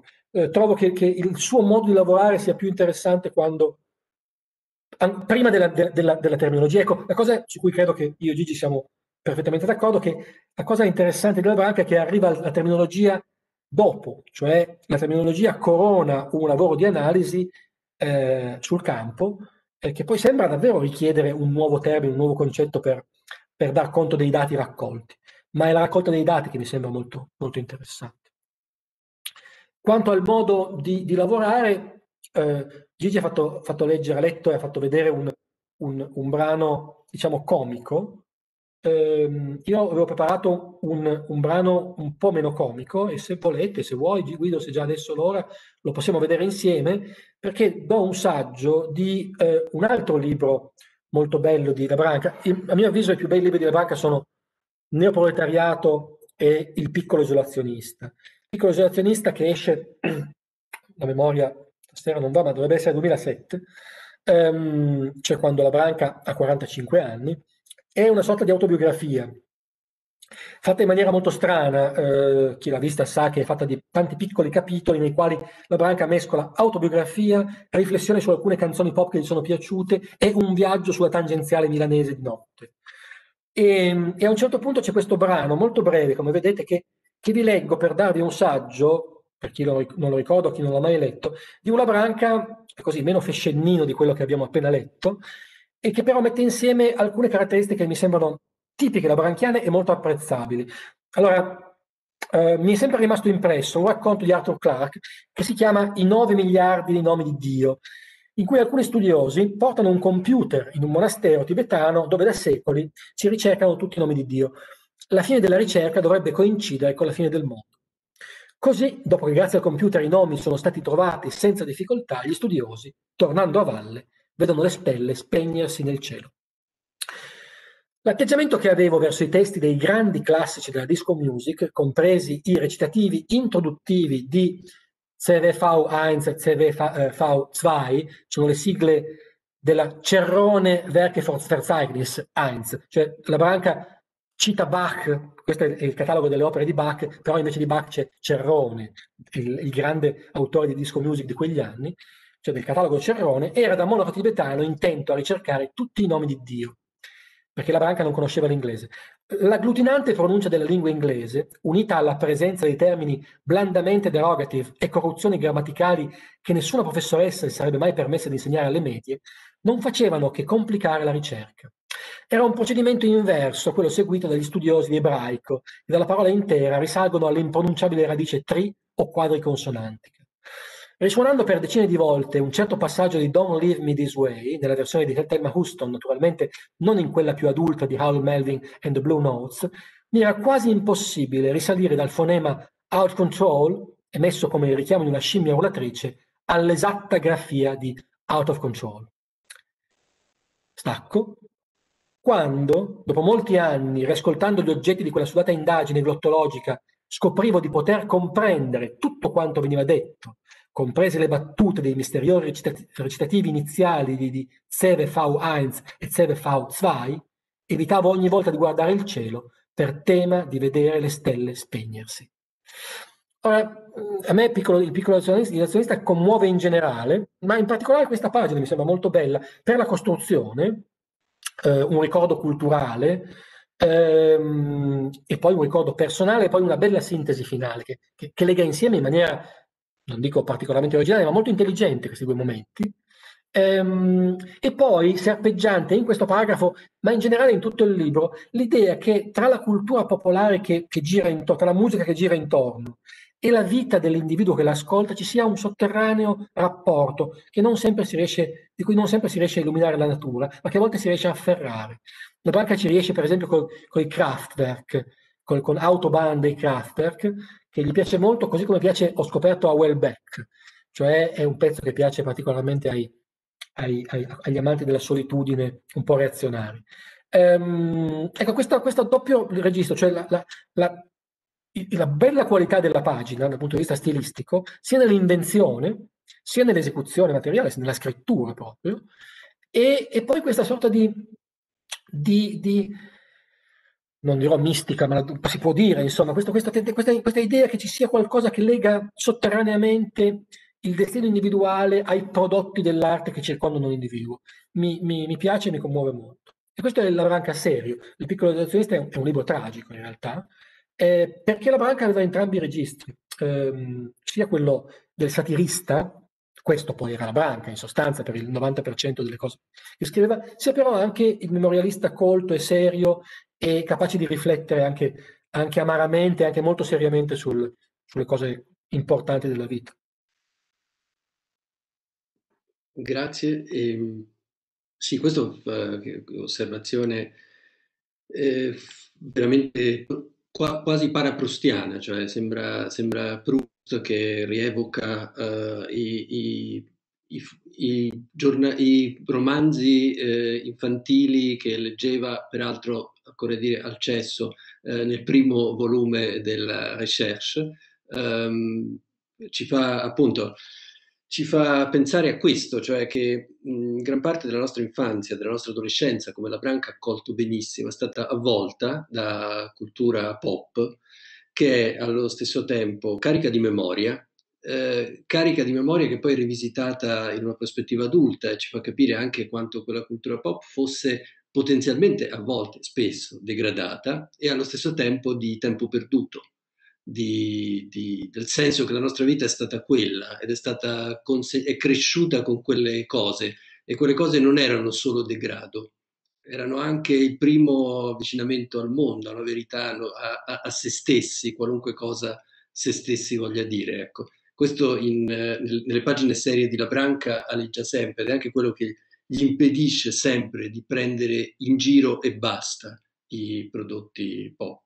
C'è anche molto senso, io credo, della tragedia della cultura, cioè che non c'è differenza di classe più profonda di quella che passa attraverso la cultura, il gusto che non si ha, eh, il discernimento che si deve acquisire, il senso della misura, perché mol- se, se, possiamo diventare ricchi all'improvviso, non possiamo diventare colti o di buon gusto all'improvviso. Questo richiede eh, sforzo, fatica e spesso attraversa le generazioni ed è una tragedia. La Branca aveva molto chiaro il senso di questa tragedia e non prendeva mai in giro e basta coloro di cui, di cui, su, su, cui esercitava la propria analisi. C'è sempre una forma di, di, di, pietà quasi creaturale nei confronti di, queste persone, che anche appunto il suo, il suo tratto commovente in molti casi.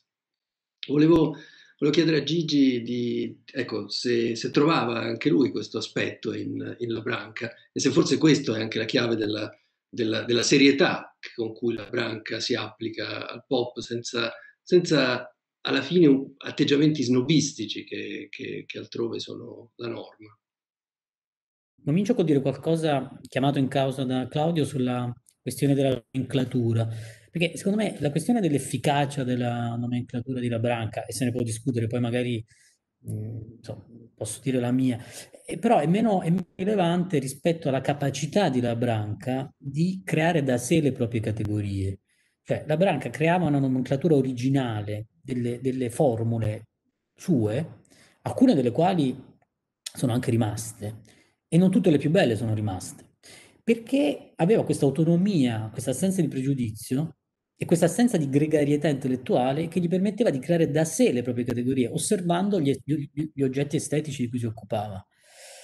E questa è un'altra differenza tra la branca e la cultura italiana di, di, postmoderna, insomma, negli ultimi decenni, perché è una cultura di solito piuttosto gregaria, soprattutto poi la nostra, quella della, della letteratura, della storia della letteratura, della critica letteraria, è molto gregaria. Mm, prima Guido parlava sostanzialmente di capitale simbolico, mi ha fatto venire in mente un episodio collegato a questa questione delle categorie, dell'autonomia di La Branca, della capacità di creare da sé le proprie categorie, un episodio citato nel libro di Claudio che non conoscevo, uh, un episodio raccontato da Manzoli, uh, per cui a un certo punto lui dice, Manzoli, una volta ho regalato alla Branca la distinzione di Bourdieu, ma non credo mai letto. E ha fatto benissimo, conclude intelligentemente Manzoli. Ora, La distinzione è un libro bellissimo, io sono contento di averlo letto, però questo episodio è significativo secondo me perché parla soprattutto dell'importanza di non ripetere le cose scritte dalle autorità. Eh, fare critica sociale del gusto come faceva non solo Bourdieu ma anche la Branca, e la Branca senza Bourdieu. L'importanza non tanto di non leggerlo perché penso che vada letto, io lo leggo, mi piace, ma l'importanza di leggerlo e poi dimenticarselo entro certi limiti. E invece noi, noi voglio dire, noi non la branca, siamo sommersi da queste tesi, saggi, articoli eh, che non fanno che ripetere non tanto Bourdieu quanto no, i nomi più, più, alla moda, soprattutto da Theory, no? Foucault, Agamben, eccetera, in una totale assenza di creatività, anche solo di immaginazione, e invece in una martellante gregarietà. Per cui le formule sono quelle create dagli altri e noi le dobbiamo applicare. Ecco. Io penso che invece la branca, anche quando sbaglia, e a volte naturalmente sbaglia, lo fa da solo, non è mai gregario. E, e, e, questo secondo me è un'altra cosa viva, un altro modello che secondo me la branca ci offre.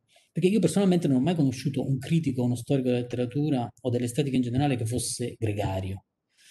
Ora, eh, la branca produceva nomenclatura originale e categorie nuove perché partiva direttamente dagli oggetti, senza, senza troppe mediazioni.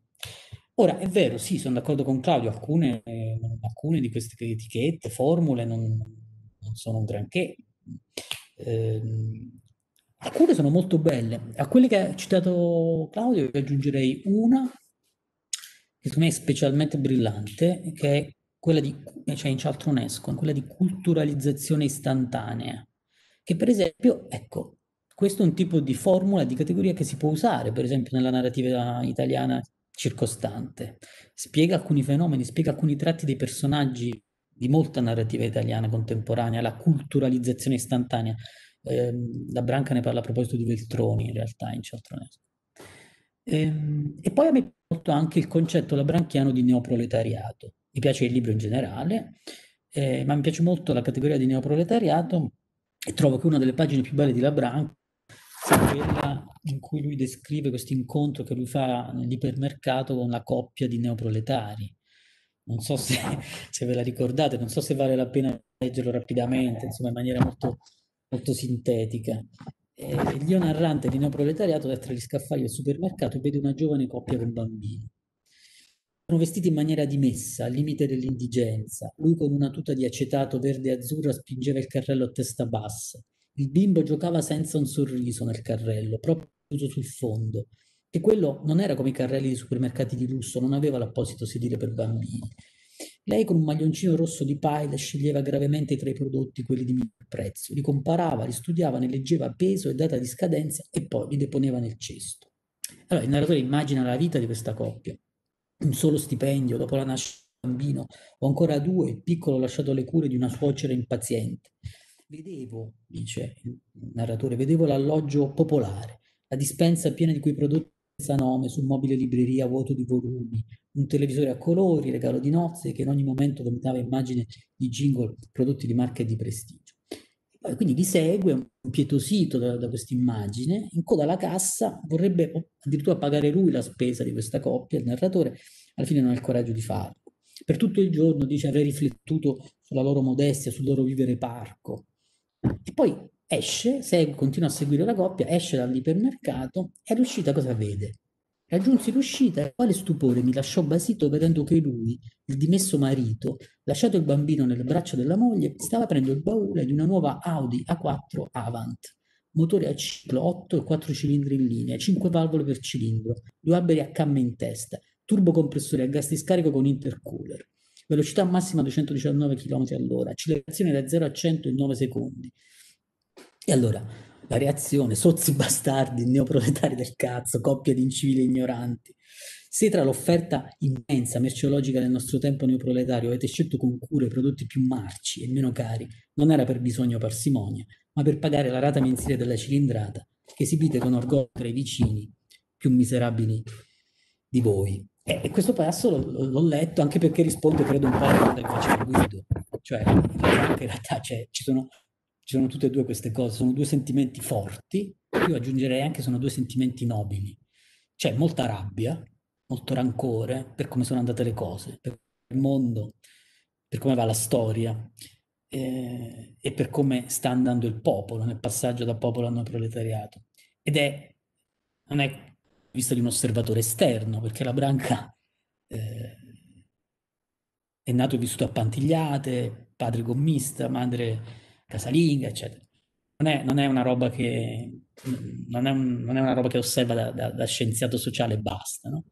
Quindi c'è molta, molta, di questa rabbia, di questo rancore, di questa aggressività, che probabilmente era nella vita di La Branca, da quello che sappiamo, da quello che leggiamo nel libro di Claudio. E poi c'è però moltissima anche la pietà, la pietà e la tragicità, io direi anche, di alcune pagine di La Branca, pietà per gli altri, ma anche pietà di sé, mi sembra. Ehm, e io credo che l'oscillazione fra questi due sentimenti e in generale la sua capacità di non essere mediocre mai, di far ridere e di far piangere, potremmo dire, cioè di essere molto abile e molto divertente, ma anche di poter toccare quando vuole delle corde di violenza e di dolore. Ecco, io credo che questa sua um, oscillazione sia una delle cose più belle di La Branca e una delle cose che me lo fa più amare. Grazie, è arrivato il momento di per chiedere al, al, pubblico se ha delle domande da porre o usando la chat o chiedendo la parola. Ne è arrivata una eh, attraverso YouTube che giro a Claudio. Eh, Claudio capirà subito perché eh, questa, questa domanda, che poi non è una domanda, è un'osservazione, dice la branca ha funzionato per lo stesso motivo per il quale hanno funzionato Elio e le storie tese. Che ne pensi Claudio? Ma no, no, direi di no. Credo che l'osservazione eh, prenda un, un segmento, un, un, triangolino, un francobollo dell'opera di La Branca e, e, e, lo identifichi col tutto, ma in realtà La Branca è un autore molto più, eh, più sfaccettato di quanto possa dire la, il paragone con Elio e le storie tese. Ehm, c'è certamente, lo dico nel libro, e non è, non è difficile dirlo, una, un'analogia generazionale. Elio e storie tese sono eh, persone nate anche loro nei primissimi anni 60, 61, 62, 63, 64. Eh, Rocco Tanica credo sia del 64. E quindi hanno negli occhi più o meno lo stesso tipo di realtà che aveva la Branca. E, ehm, e ci sono delle analogie anche sulla, nella confezione di, di, alcuni testi, nel libro ne parlo un pochino, accenno un po', eh, cioè tutta l'enorme quantità di oggetti che sono entrati nella nostra vita, di oggetti commerciali, di marchi che sono entrati nella nostra vita a partire da quegli anni fino, fino ad oggi, sono presenti per la prima volta in effetti nei testi sia di La Branca sia di Elio Storie Tese. Ehm, e c'è anche in effetti eh, tra La Branca e per esempio eh, Rocco Tanica, che è quello che ha dire, una, una scrittura più, più continua e anche più di qualità del gruppo. L'anno scorso è uscita una sua autobiografia piuttosto bella. Eh, è facile trovare dei punti di contatto nella chiave comica usate dai due, da, da, sia da, da Roccotanica che dalla Branca. Però direi che il, dire, l'universo espressivo, artistico, l'idea di vita di La Branca è molto più complessa di quella di Elio Storietese, che non sottovaluto affatto, ne ho, ne ho scritto anche con, con, ammirazione, ma sono due cose un po' diverse, cioè ehm, quello che in, in Elio Storietese è quasi tutto, in La Branca è un, è un frammento importante, interessante e, e, in realtà molto serio, molto, molto bello anche, ma, ma rimane un frammento. C'è un'altra domanda di Francesco Pecoraro. Eh, le tre F Concetto fondamentale per leggere il presente, punto interrogativo. Le tre F sono fiction, fashion e uh, fitness e sono le tre caratteristiche del neoproletariato secondo uh, la Branca. Ris- rispondete entrambi, Gigi e poi Claudio. Naturalmente sì, secondo me sì. Ma, insomma, la, la, la, la descrizione del neoproletariato è nel libro di La Branca è, è, è, è giusta, insomma, è sostanzialmente perfetta, virtualmente perfetta e soprattutto eh, è un libro che non è chiato, secondo me. E le tre F lo dimostrano, sempre più fiction, sempre più fi- fitness, forse meno fashion, forse, forse, cioè, forse fashion è il concetto che si è deformato di più ma forse sono, sono deformazioni di superficie, nella sostanza, nella sostanza non è cambiata. Credo che in realtà poi il più importante dei tre sia forse proprio fiction. Uh, e credo che la cosa che più facesse soffrire la Branca fosse proprio la fictionalizzazione del popolo, o se preferite del proletariato tradizionale, eh, nel farsi neoproletariato la quantità di fiction assorbita come radiazioni eh, dal, dal, neoproletario. E, ehm, e, questo credo andasse insieme con quello che odio molto forte per i simulatori. Credo che mh, la Branca identificasse il popolo con eh, una forma di autenticità, una cosa romantica ma umanamente commovente, e credo che invece mh, il suo distacco da, dal neoproletariato fosse molto anche legato a questa componente simulatrice, emulativa, eh, epigonale e, e, e fictional neoproletario, per come la descrive anche nel libro. Eh, se poi ci spostiamo dal neoproletariato ancora al pop, andando indietro, un po' retrocedendo nella cronologia di opere di Labranca, vediamo che quando appunto si occupa di trash, di pop, il suo disprezzo più grande è sempre rivolto ai simulatori. E spesso i simulatori stanno a livello intermedio della cultura di massa. Eh, la Branca tende a essere indulgente verso il mascalino e tende ad apprezzare eh, l'Aibro, diciamo la cultura di a grande ambizione formale, mentre spesso è molto violento nei confronti del mid-cult. Perché? Perché il mid-cult è per lui e direi anche oggettivamente la sacca in cui in genere si raccoglie la maggior quantità di simulazione, di polline culturale, di polline estetico. Ecco, mh, credo che la Branca fosse particolarmente insofferente a, a questo tipo di polline. Eh, fosse particolarmente mh, scocciato dall'artista simulatore, mentre potesse commuoverlo l'artista trash, cioè l'artista che non ci riesce a, a emulare in maniera mh, riuscita il suo modello.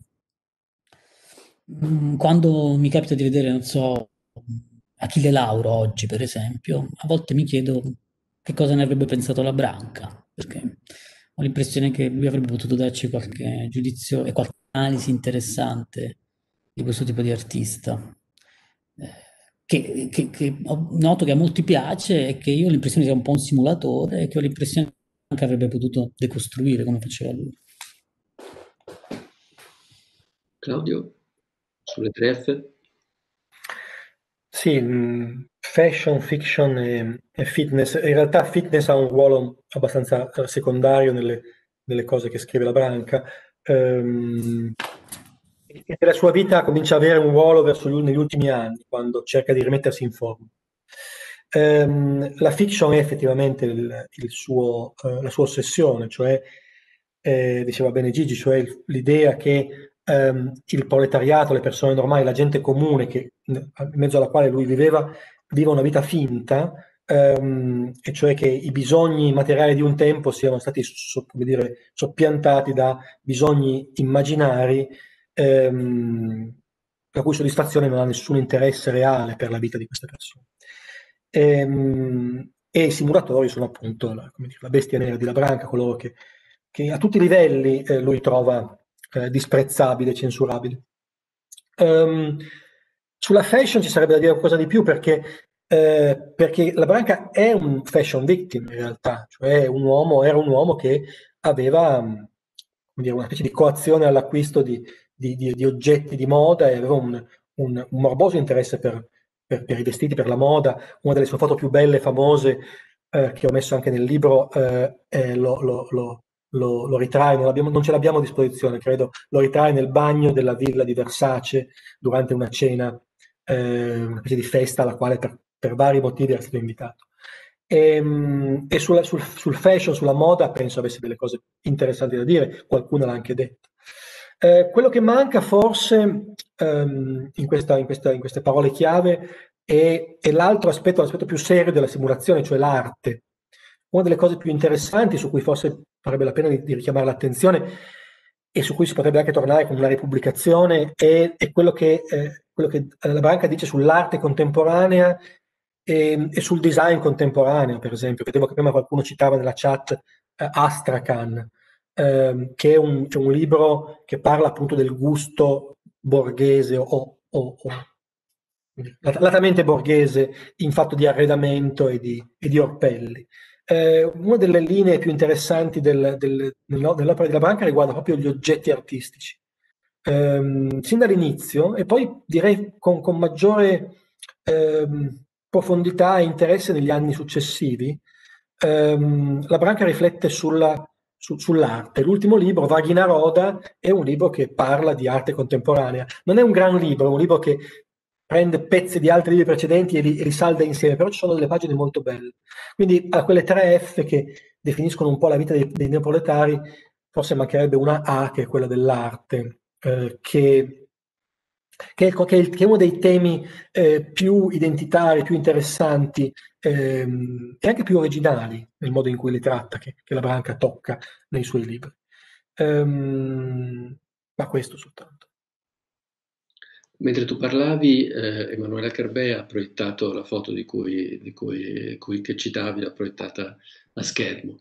Eh, sono arrivate molte domande, eh, giro a, Claudio, credo, quella di Maria Luisa Roscino. Come si inquadra in una produzione di Tommaso Labranca un volume come Astrakhan? Ci sono affinità con Piero Chiara? Eh, c'è un'altra, faccio, formulo subito un'altra domanda eh, per, per, rendere più veloce la, la, replica, di Davide Di Falco. C'è qualcuno che ha raccolto l'eredità di Labranca o Labranca rimane come intellettuale un unico, ma è ancora è nell'area la ristampa delle sue opere, alcune delle quali da tempo esaurite e fuori commercio? Eh, prima Claudio, poi Gigi. Um, dunque, no, Astrakhan non è, um, fa pensare al capotto di Astrakhan, ma in realtà eh, non, non, c'entra con Chiara. Astrakhan è un libro appunto in cui si parla di una, di una zia, di una vecchia signora defunta e del suo mondo borghese che la Branca oppone invece al gusto più triviale dei, dei giovani milanesi da, da fuori salone. E, e, quindi è un libro che, in cui, il cui interesse sta soprattutto nelle osservazioni che la banca fa sugli oggetti. E c'è un saggio precedente che, che, che, che, è disperso tra le mille cose che lui ha messo in rete e si chiama ehm, Zia Design, che, fa eh, che, è la riscrittura di un altro saggio precedente di cui non ricordo il titolo. Ma insomma, gli oggetti interessavano molto alla Branca e il tema del libro è un po' questo l'oggettistica, c'è un, un debole nesso narrativo tra le, tra le, varie scene, ma quello che interessa è proprio la, la, la, dire, l'arredamento delle case e gli oggetti che, che gli esseri umani borghesi o eh, proletari o finto proletari hanno davanti agli occhi. Però è vero che la banca amava Piero Chiara, Piero Chiara era un, uno scrittore che lui amava moltissimo, eh, aveva dei gusti letterari eh, curiosi perché non molto in linea con col modo in cui scriveva, gli, piaceva, gli piacevano i narratori puri eh, Piero che piaceva, che piaceva Chiara, eh, gli piacevano fra i, fra i, contemporanei quelli che riuscivano a raccontare una storia, come Veronesi, poniamo. Eh, gli piaceva City, per altre ragioni, eh, gli piaceva Isherwood. Mm, Chiara però era uno degli autori che, che, gli piacevano di più, in effetti. Un po' perché era il suo contrario, era forse tanto solare e aperto al mondo quando, quando lui era invece umbratile e, e, e pessimista e chiuso. Um, quanto alle, alle, alle opere, alle, quanto agli eredi, ma sempre difficile dire, sempre difficile disegnare una linea con un autore, fra l'altro, così poco visibile ai suoi tempi, ancora adesso. Um, io credo che dei, delle, molte delle persone che oggi hanno 40, 50 anni, 60 anni hanno letto la Branca e forse per alcune cose ne sono stati influenzati. Um, uh, però non, non cercherei il labranchismo, insomma, negli scrittori contemporanei. Io faccio un, capico, un capitoletto che si intitola Effetto Labranca, in cui cerco di vedere come alcuni dei temi, dei punti di vista che lui ha portato a galla ritornino in giornalisti, scrittori, saggisti, i quali forse non hanno nemmeno letto la branca. Però quello che mi sembra importante in la branca non è tanto di quello di aver una, creato una scuola, ma di aver aperto delle possibilità. Cioè, mi, sembra che abbia un po' allargato l'orizzonte il campo del dicibile e del criticabile. Eh, cioè ha introdotto dei nuovi oggetti nel, davanti ai nostri occhi, ha messo dei nuovi oggetti e questo ha, ha, ha lasciato un segno sicuramente. Quindi oggi non, non, parlerei di eredi, però sono, sono certamente sono sicuro che, che, la Branca apprezzerebbe molti di, alcuni di coloro che scrivono um, libri o articoli di giornale oggi, insomma.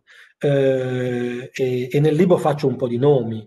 Eh, non sono particolarmente esperto, quindi questi nomi io li faccio perché seguo queste persone quando scrivono, ma, ma sicuramente è un, è un, catalogo molto, molto facilmente ampliabile. Insomma. Oggi sul pop si scrive meglio e di più. Non so se sia stato un effetto di Labranca, ma certamente eh, la porta lui l'ha aperta, insomma. Ehm, ma anche certa, certe descrizioni di città, certo, certo grigiore, eh, una certa malinconia un po' compiaciuta che c'è nel, nella narrativa di alcuni scrittori contemporanei ha qualche, ha qualche nesso con quello che lui scriveva della Milano grigia e nebbiosa e fredda che gli piaceva tanto. Um, e poi il satirista, questo sì, il, lo scrittore satirico, qualche segno l'ha lasciato. Ora, la satira è un linguaggio universale nel senso che gli ingredienti sono quelli e, e possono essere mescolati in, in, proporzioni differenti, ma quelli rimangono.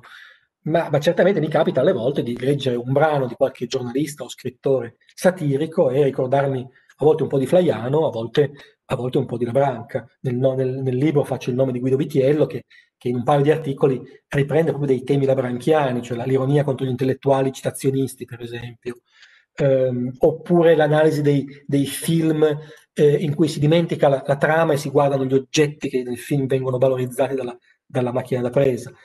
Eh, oppure per quanto riguarda il, la, la, la, critica del pop, ogni giornale oggi ha un, un bravo giornalista che, che, fa critica del pop, bravo, meno bravo, insomma. Nel libro faccio qualche nome che, che so, la Soncini per esempio è sicuramente brava, eh, su Domani c'è un, un, ottimo autore televisivo che si chiama Fabio Vassallo che queste cose le sa dire, ma ce ne sono tanti sicuramente. Per quanto riguarda le opere, in realtà devo dire prima, uno degli, obiettivi iniziali del libro era quello di, di smuovere un po' le acque, di, di, rimettere un po' la branca sulla mappa. Un po' ci sono riuscito, qualche, qualche copia l'abbiamo venduta e siamo qui stasera. C'è un po' di curiosità. Io ho fatto il giro delle sette chiese, come si fa in questi casi, ci ho telefonato a, ai, ai, miei amici, ai colleghi, alle persone che, che, che, sta, che lavorano nell'editoria, tutti molto interessati. Qualcuno dei più giovani editor non l'avevano mai sentito par- parlare di La Branca perché è un autore di cui da 10-15 anni si parla pochissimo. Gli altri un po' di più. E ho qualche promessa, che però per adesso è solo una promessa.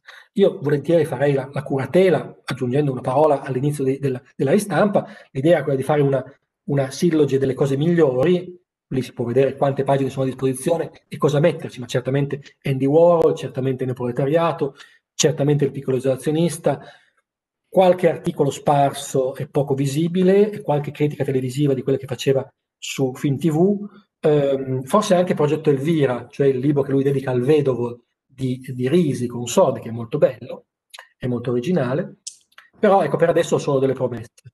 Bisogna trovare un mercato, un pubblico e non è, non è così facile. Eh, io però ci provo e continuo a battere, a bussare. Insomma. Gigi?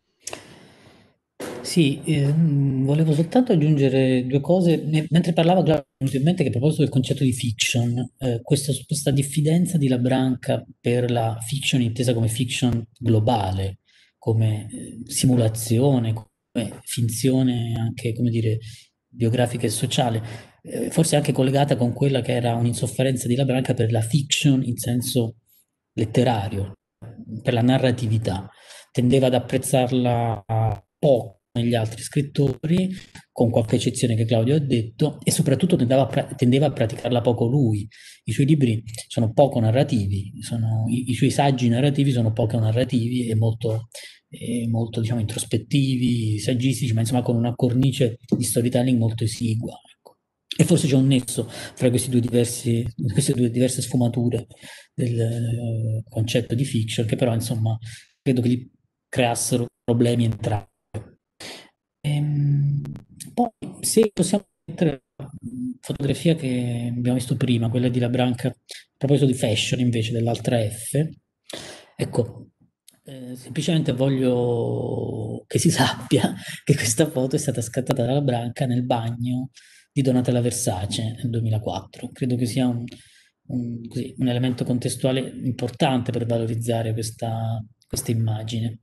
Eh, in generale credo che la branca, questo fa parte dell'aspetto più malinconico e della pietas, forse anche del, del lato eh, tragico di la branca, credo che fosse mm, molto sensibile alla bellezza poi in realtà, eh, e quindi al gusto che dà inseguirla e anche sfregiarla in qualche modo.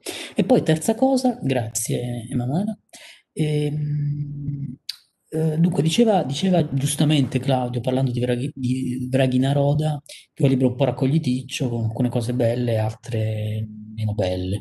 In realtà io ho l'impressione che questo sia vero un po' per tutti i libri di La Branca. Cioè, ho l'impressione che La Branca, e questa è una delle cose che forse è uno dei punti deboli della sua opera dal mio punto di vista. Credo che la Branca non abbia scritto un libro perfetto mai. Eh, anche quelli molto belli come Il piccolo isolazionista mancano un po' di organicità oppure si fermano fino a un certo punto. Io personalmente mm, l'ho valorizzato molto, Il piccolo isolazionista, ne ho parlato parecchio nella letteratura circostante perché secondo me è uno dei libri belli eh, di, di, narrativa italiana degli ultimi decenni. Però ho l'impressione che la Branca in realtà non abbia mai creato, non so se perché non voleva o perché non sapeva creare un prodotto, un'opera, non un prodotto, un'opera organica, in senso classico, bella in senso classico. Ho l'impressione che lui funzionasse come autore più come funzionano di solito i propri i prodotti di consumo, come funzionano di solito i prodotti pop, cioè in maniera disorganica. Sono in genere, no? Un film di genere, un romanzo di genere. Spesso è bello a frammenti, manca proprio di organic- ma- manca della, dell'organicità del, del classico, no? della coerenza, dell'organicità del classico. Ho l'impressione che anche come autori in questo senso la branca somigliasse alle opere di cui si occupava e eh, fosse molto discontinuo. Eh, in tutti i suoi libri, secondo me, ci sono cose molto belle e cose meno interessanti, ed è una costante questa in realtà. Questo per dire che, secondo me, paradossalmente, ma fino a un certo punto, la branca è, a mio avviso, un autore da opere complete, come diceva Fortini di Pasolini, cioè è un autore... È, e nonostante le differenze, secondo me ci sono anche delle analogie in realtà tra la Branca e Pasolini ferma restando l'antipatia di La Branca per Pasolini. Però, per esempio, in questo sono simili. Secondo me sono autori da opere complete, cioè autori che non si sono mai, eh, come dire, incarnati in un'opera organica, perfetta, scintillante, ma si sono spesi, eh, diciamo, in maniera frammentaria e per cui io credo che sarebbe importante riconoscere per intero il percorso della Branca e apprezzare quel che di buono c'è in tutti i suoi libri, perché in tutti i suoi libri c'è qualcosa di buono. E in questo senso speriamo che l'editoria italiana batta un colpo. Lui sull'editoria italiana, e su questo chiudo, a volte insomma, ho rilasciato questa dichiarazione notevole. La crisi dell'editoria italiana mi, mi, mi, dispiace soprattutto perché rischia di lasciare a casa molte persone che rischiano di perdere il lavoro. Non, non, penser, non penserai certo, rivolgendosi al giornalista che gli aveva fatto questa domanda, che mi dispiaccia se se, se pubblicano libri di cuochi o di, o di calciatori. No, no, è un'industria e l'industria deve fatturare. Se poi eh, c'è qualcuno, c'è qualche parrucchiere eh, o barbiere che non pubblica il suo libro di poesie, non è così importante. Quindi insomma aveva anche una visione come dire, industriale dell'editoria. Eh, non so se le opere complete della banca possono essere un interessante dal punto di vista commerciale, però penso che sia un autore che va letto tutto. E per tutto intendo anche, e questa sarebbe un'operazione ancora più difficile forse, eh, per tutto intendo anche nelle sue tracce in rete, per esempio, eh, che sono numerose e che sono forse irreperibili ormai, forse sono sempre perdute, non lo so, però è un autore che non è soltanto scritto, eh, su, su, carta, è un autore che è stato eh, presente anche in maniera performativa nelle feste che organizzava, negli appuntamenti che organizzava, nei siti che aveva lanciato e, e nelle varie iniziative, alcune Claudio le ha ricordate, le fanzine, insomma, eh, a cui ha dato origine. Quindi un autore, e anche questa è un'analogia con Pasolini, paradossale forse, un autore eh, con una figuralità e una capacità di disseminazione che secondo me andrebbe recuperata. Domande che vi leggo.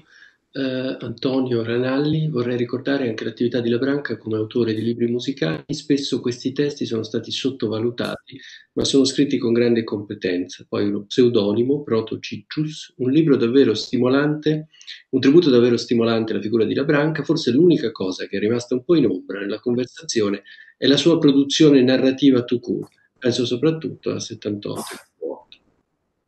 Uh, Giulio Azzolini, il neoproletariato è la classe sfruttata ma non antagonista, subalterna. Oggi, dopo dieci anni di aumento delle diseguaglianze economiche, questa categoria rischia di oscurare i germi di rabbia e di conflitto. Punto interrogativo.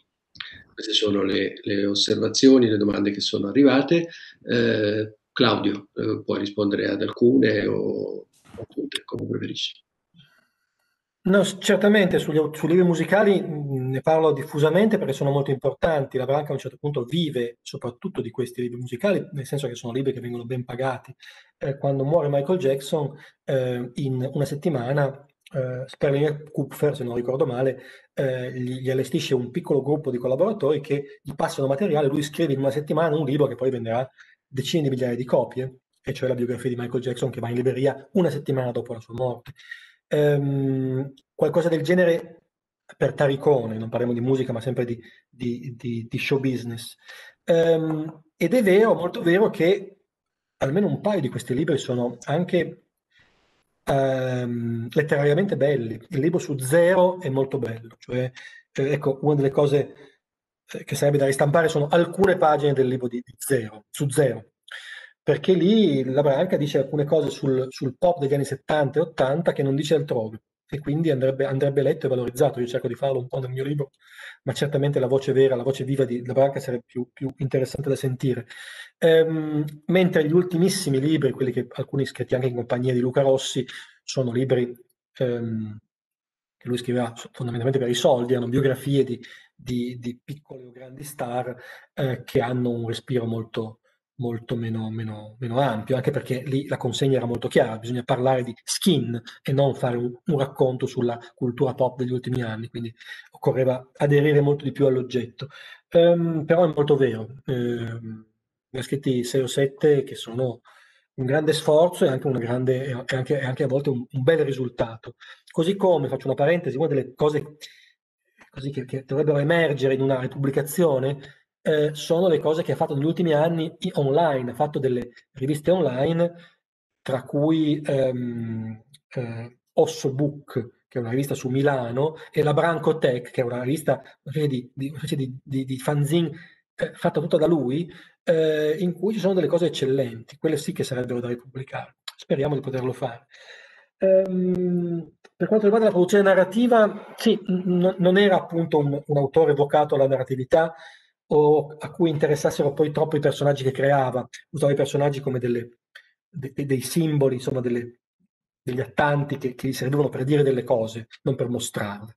Um, e quindi eh, l'ascoltatore citava 7808, che è un, romanzo, è un racconto romanzo che ha una, una, sua, una, sua, linea narrativa anche divertente, però abbastanza esile, con personaggi eh, così più che rappresentati, satirizzati. Il, l'ascoltatore si ricorderà una figlia emo, erano gli anni degli emo, con il compagno emo che va in Inghilterra, eccetera, eccetera. Però devo dire la, la linea narrativa va in secondo piano e in primo piano stanno le osservazioni sul passaggio storico tra eh, l'Italia degli anni del terrorismo negli anni 70 e poi l'Italia del, del, riflusso e l'Italia nella quale si trova a vivere il personaggio principale, cioè nel 2008 eh, il, il, protagonista de, del libro.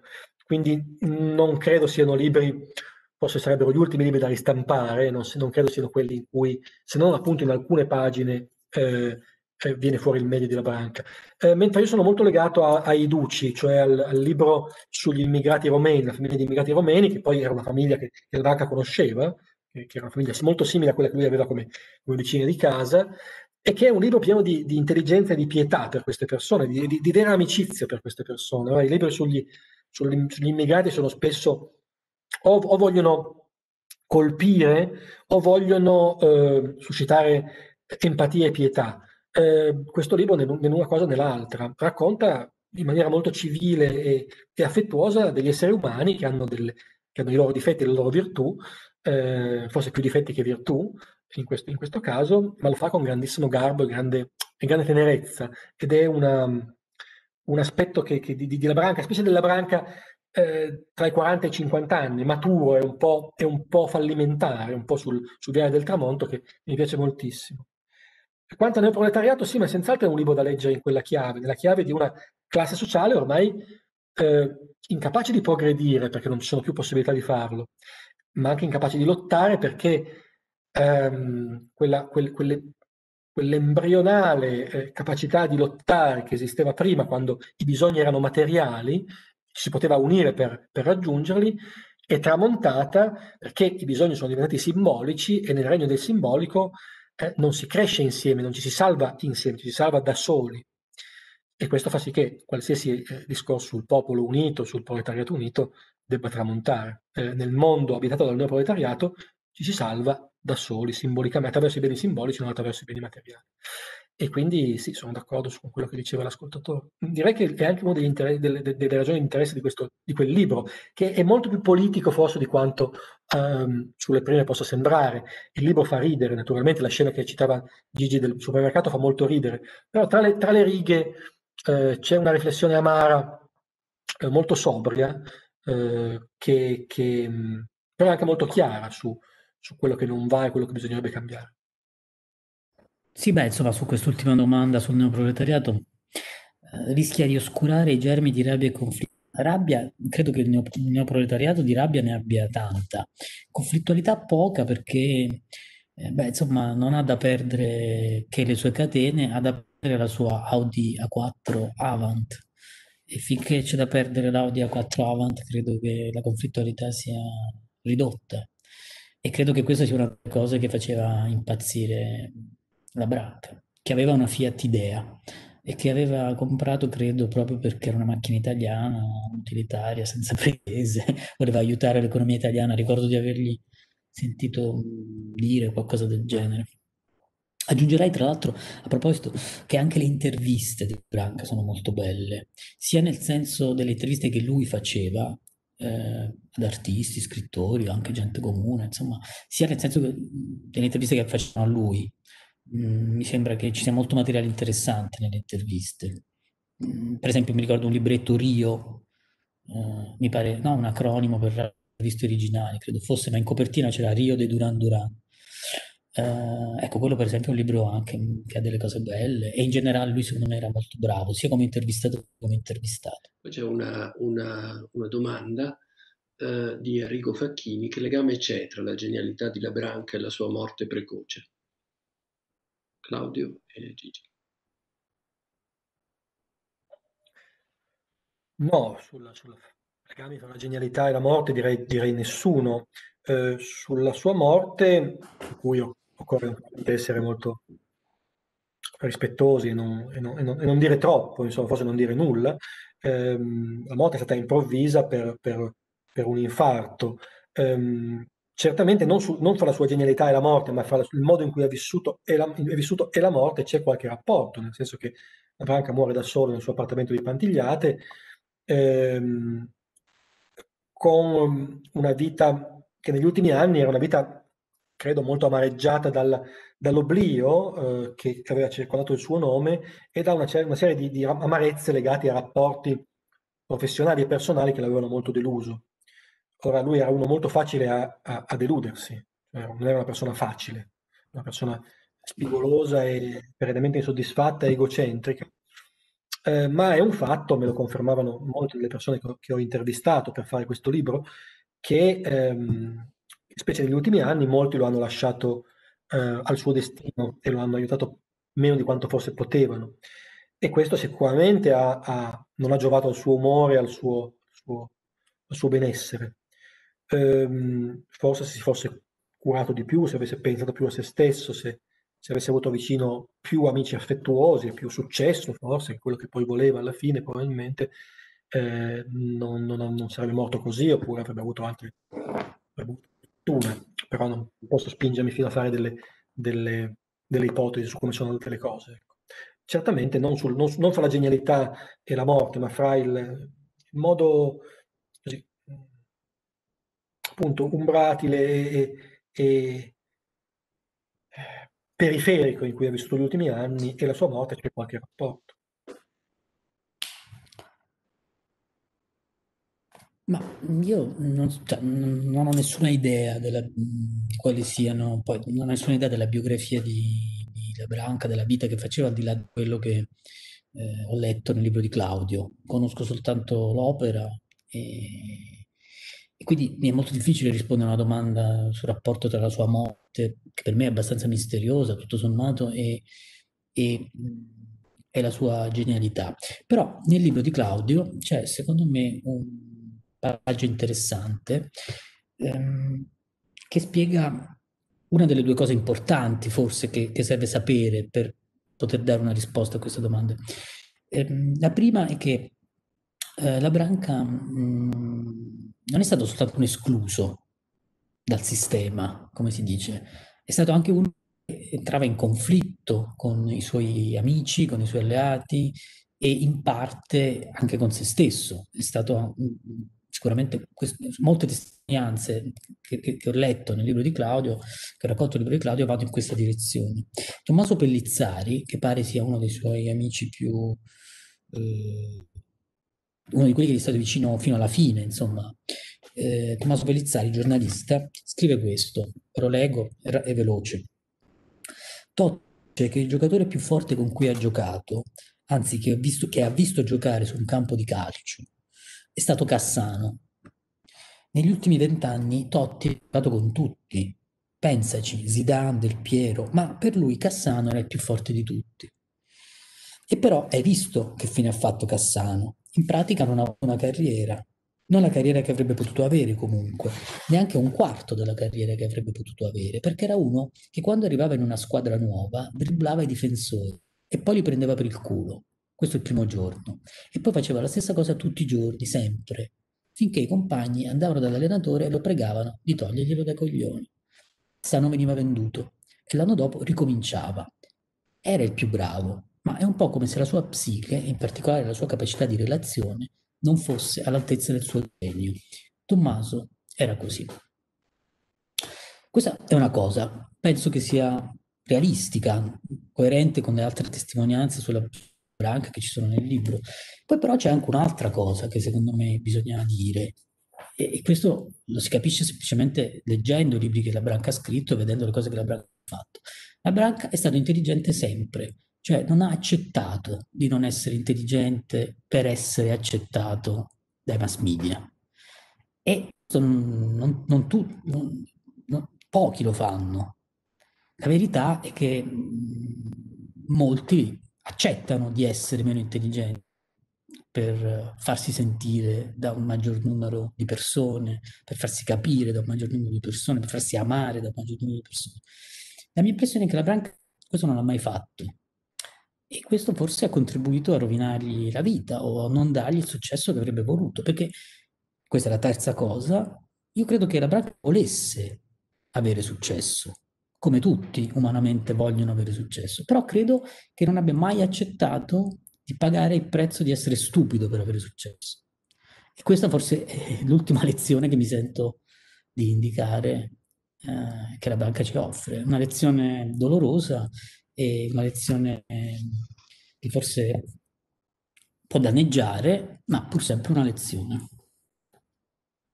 Grazie. Eh, un'ultima, un'ultima, osservazione e poi ci avviamo verso la conclusione di Francesco Pecoraro che eh, scrive in principio era Basino, mi sa. Eh, voi eh, ravvisate somiglianze, eh, affinità, divergenze tra queste, tra queste due figure? Branca apprezzavo moltissimo Arbasino, non so quanto lo abbia letto estesamente, forse nessuno ha mai letto estesamente Arbasino, insomma. Um, eh, però lui lo, c'è una pagina che non ricordo, dove, non ricordo dove in cui lo, lo, lo, lo, elogia in maniera un po' iperbolica, il che fa pensare che non l'avesse veramente letto estesamente. Um, ma non so, il, il confronto è, è, davvero difficile da fare. Um, diciamo, prendendoli come cronisti del presente, forse, di quello che succede intorno a loro. Eh, diciamo, l'oggetto che, che, volevano, che, volevano, avere sotto gli occhi era molto diverso, perché ovviamente Arbasino aveva, aveva in mente una cronaca della, del, del, del, costume borghese e dell'intellettualità del suo tempo, mentre a, a, alla Branca sta a cuore tutt'altro, cioè sta a cuore la gente comune, proletario, piccolo borghese, la periferia e eh, la cultura di massa, cioè quella che eh, Arbasino nemmeno faceva entrare sua, nel suo punto di osservazione. Ehm, quindi da questo punto di vista sono complementari, se vogliamo, ecco, si possono leggere entrambi. Ehm, dovrei riflettere molto di più in, per dare una risposta eh, sensata. Eh, quella mancanza di organicità che diceva Gigi eh, in Arbasino è, è, ancora più marcata evidentemente. Ehm, io sono d'accordo su quello che diceva Gigi sulla, sulla mancanza di tenuta dei libri.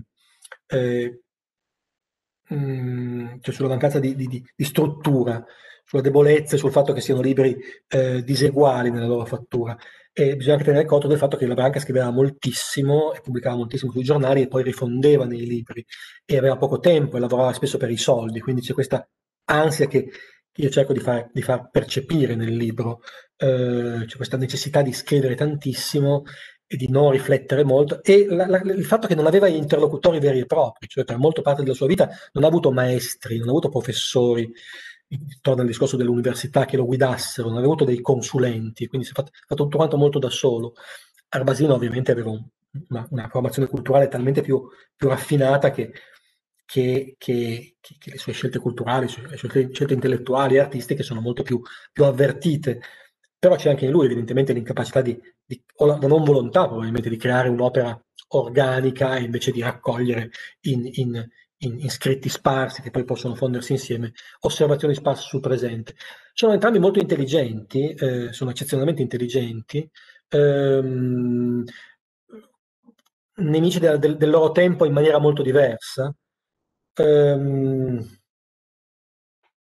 non lo so, ecco, eh, dovrei, dovrei, dovrei, riflettere meglio su un possibile confronto, eh, però i punti di, di, contatto non mi sembrano moltissimi, insomma, in realtà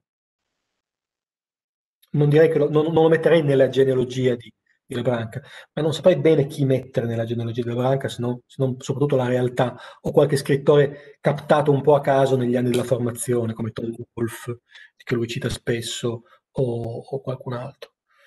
Mm, dovrei rifletterci.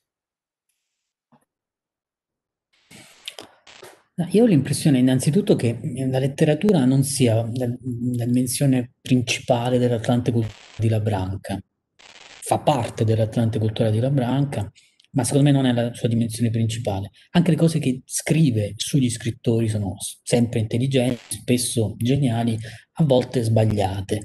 Mentre, per esempio, è molto difficile, secondo me, che La Branca sbagli un giudizio sulla musica pop, per esempio. Sulla musica pop, secondo me, lui è quasi infallibile. Eh, per quanto riguarda Arbasino, io credo che valga, è la terza volta che uso questo avverbio, paradossalmente, un po' quello che abbiamo detto per Pasolini. Cioè, secondo me ci sono delle cose molto simili e delle radicali divergenze.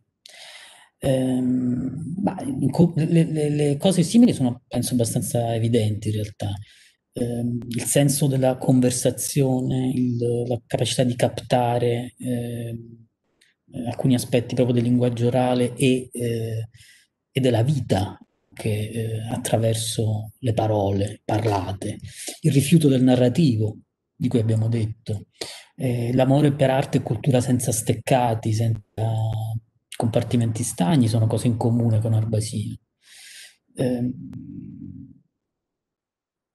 una certa ironia, aggiungerei, mh, mm, che però in La Branca può prendere una piega tragica, a differenza che in Arbasino. Però credo che siano molto importanti anche le differenze. La differenza tra La Branca e per dirla sinteticamente, mi sembra quella che c'è fra il trash e il camp. Arbasino mi sembra soprattutto legato a un gusto del campo, mentre sappiamo che la Branca aveva un gusto modo, naturalmente, con tutte le gerarchie che sappiamo, che abbiamo detto, ma certamente era attratto più dal trash che dal camp. E, e tra l'altro una delle sue definizioni del trash è, del camp è che il camp è un trash che ha preso coscienza di sé, se non ricordo male. Un'altra grande differenza con Arbasino è la capacità che ha la Branca e che non ha Arbasino di parlare di sé, di parlare, voglio dire, dei suoi mh, moventi più profondi e anche dei suoi dolori e delle sue, dei suoi rancori. Arbasino ha una discrezione logorroico quando deve parlare di cultura e di arte, è molto difensivo quando deve parlare di sé. La Branca era difensivo. Credo che invece abbia messo molte delle sue trippe sul piatto e in questo somiglia a Pasolini. Sono tre tipi diversi di intellettuali attratti dal pop in modo diverso, tre tipi diversi di omosessualità anche. Tre figure che secondo me devono esserci ben presenti tutte e tre perché tutte e tre hanno qualcosa da, da dirci. Ringrazio Claudio Giunta e Gianluigi Simonetti per quello che ci hanno detto stasera. È stata, è stata una, una, serata molto bella. Eh, vi ringraziamo, eh, vi ringraziamo eh, profondamente. Eh, diamo appuntamento a coloro che seguono Extrema Razio il prossimo anno. Avremo una, un'altra serie di incontri eh, conferenze, discussioni, dibattiti.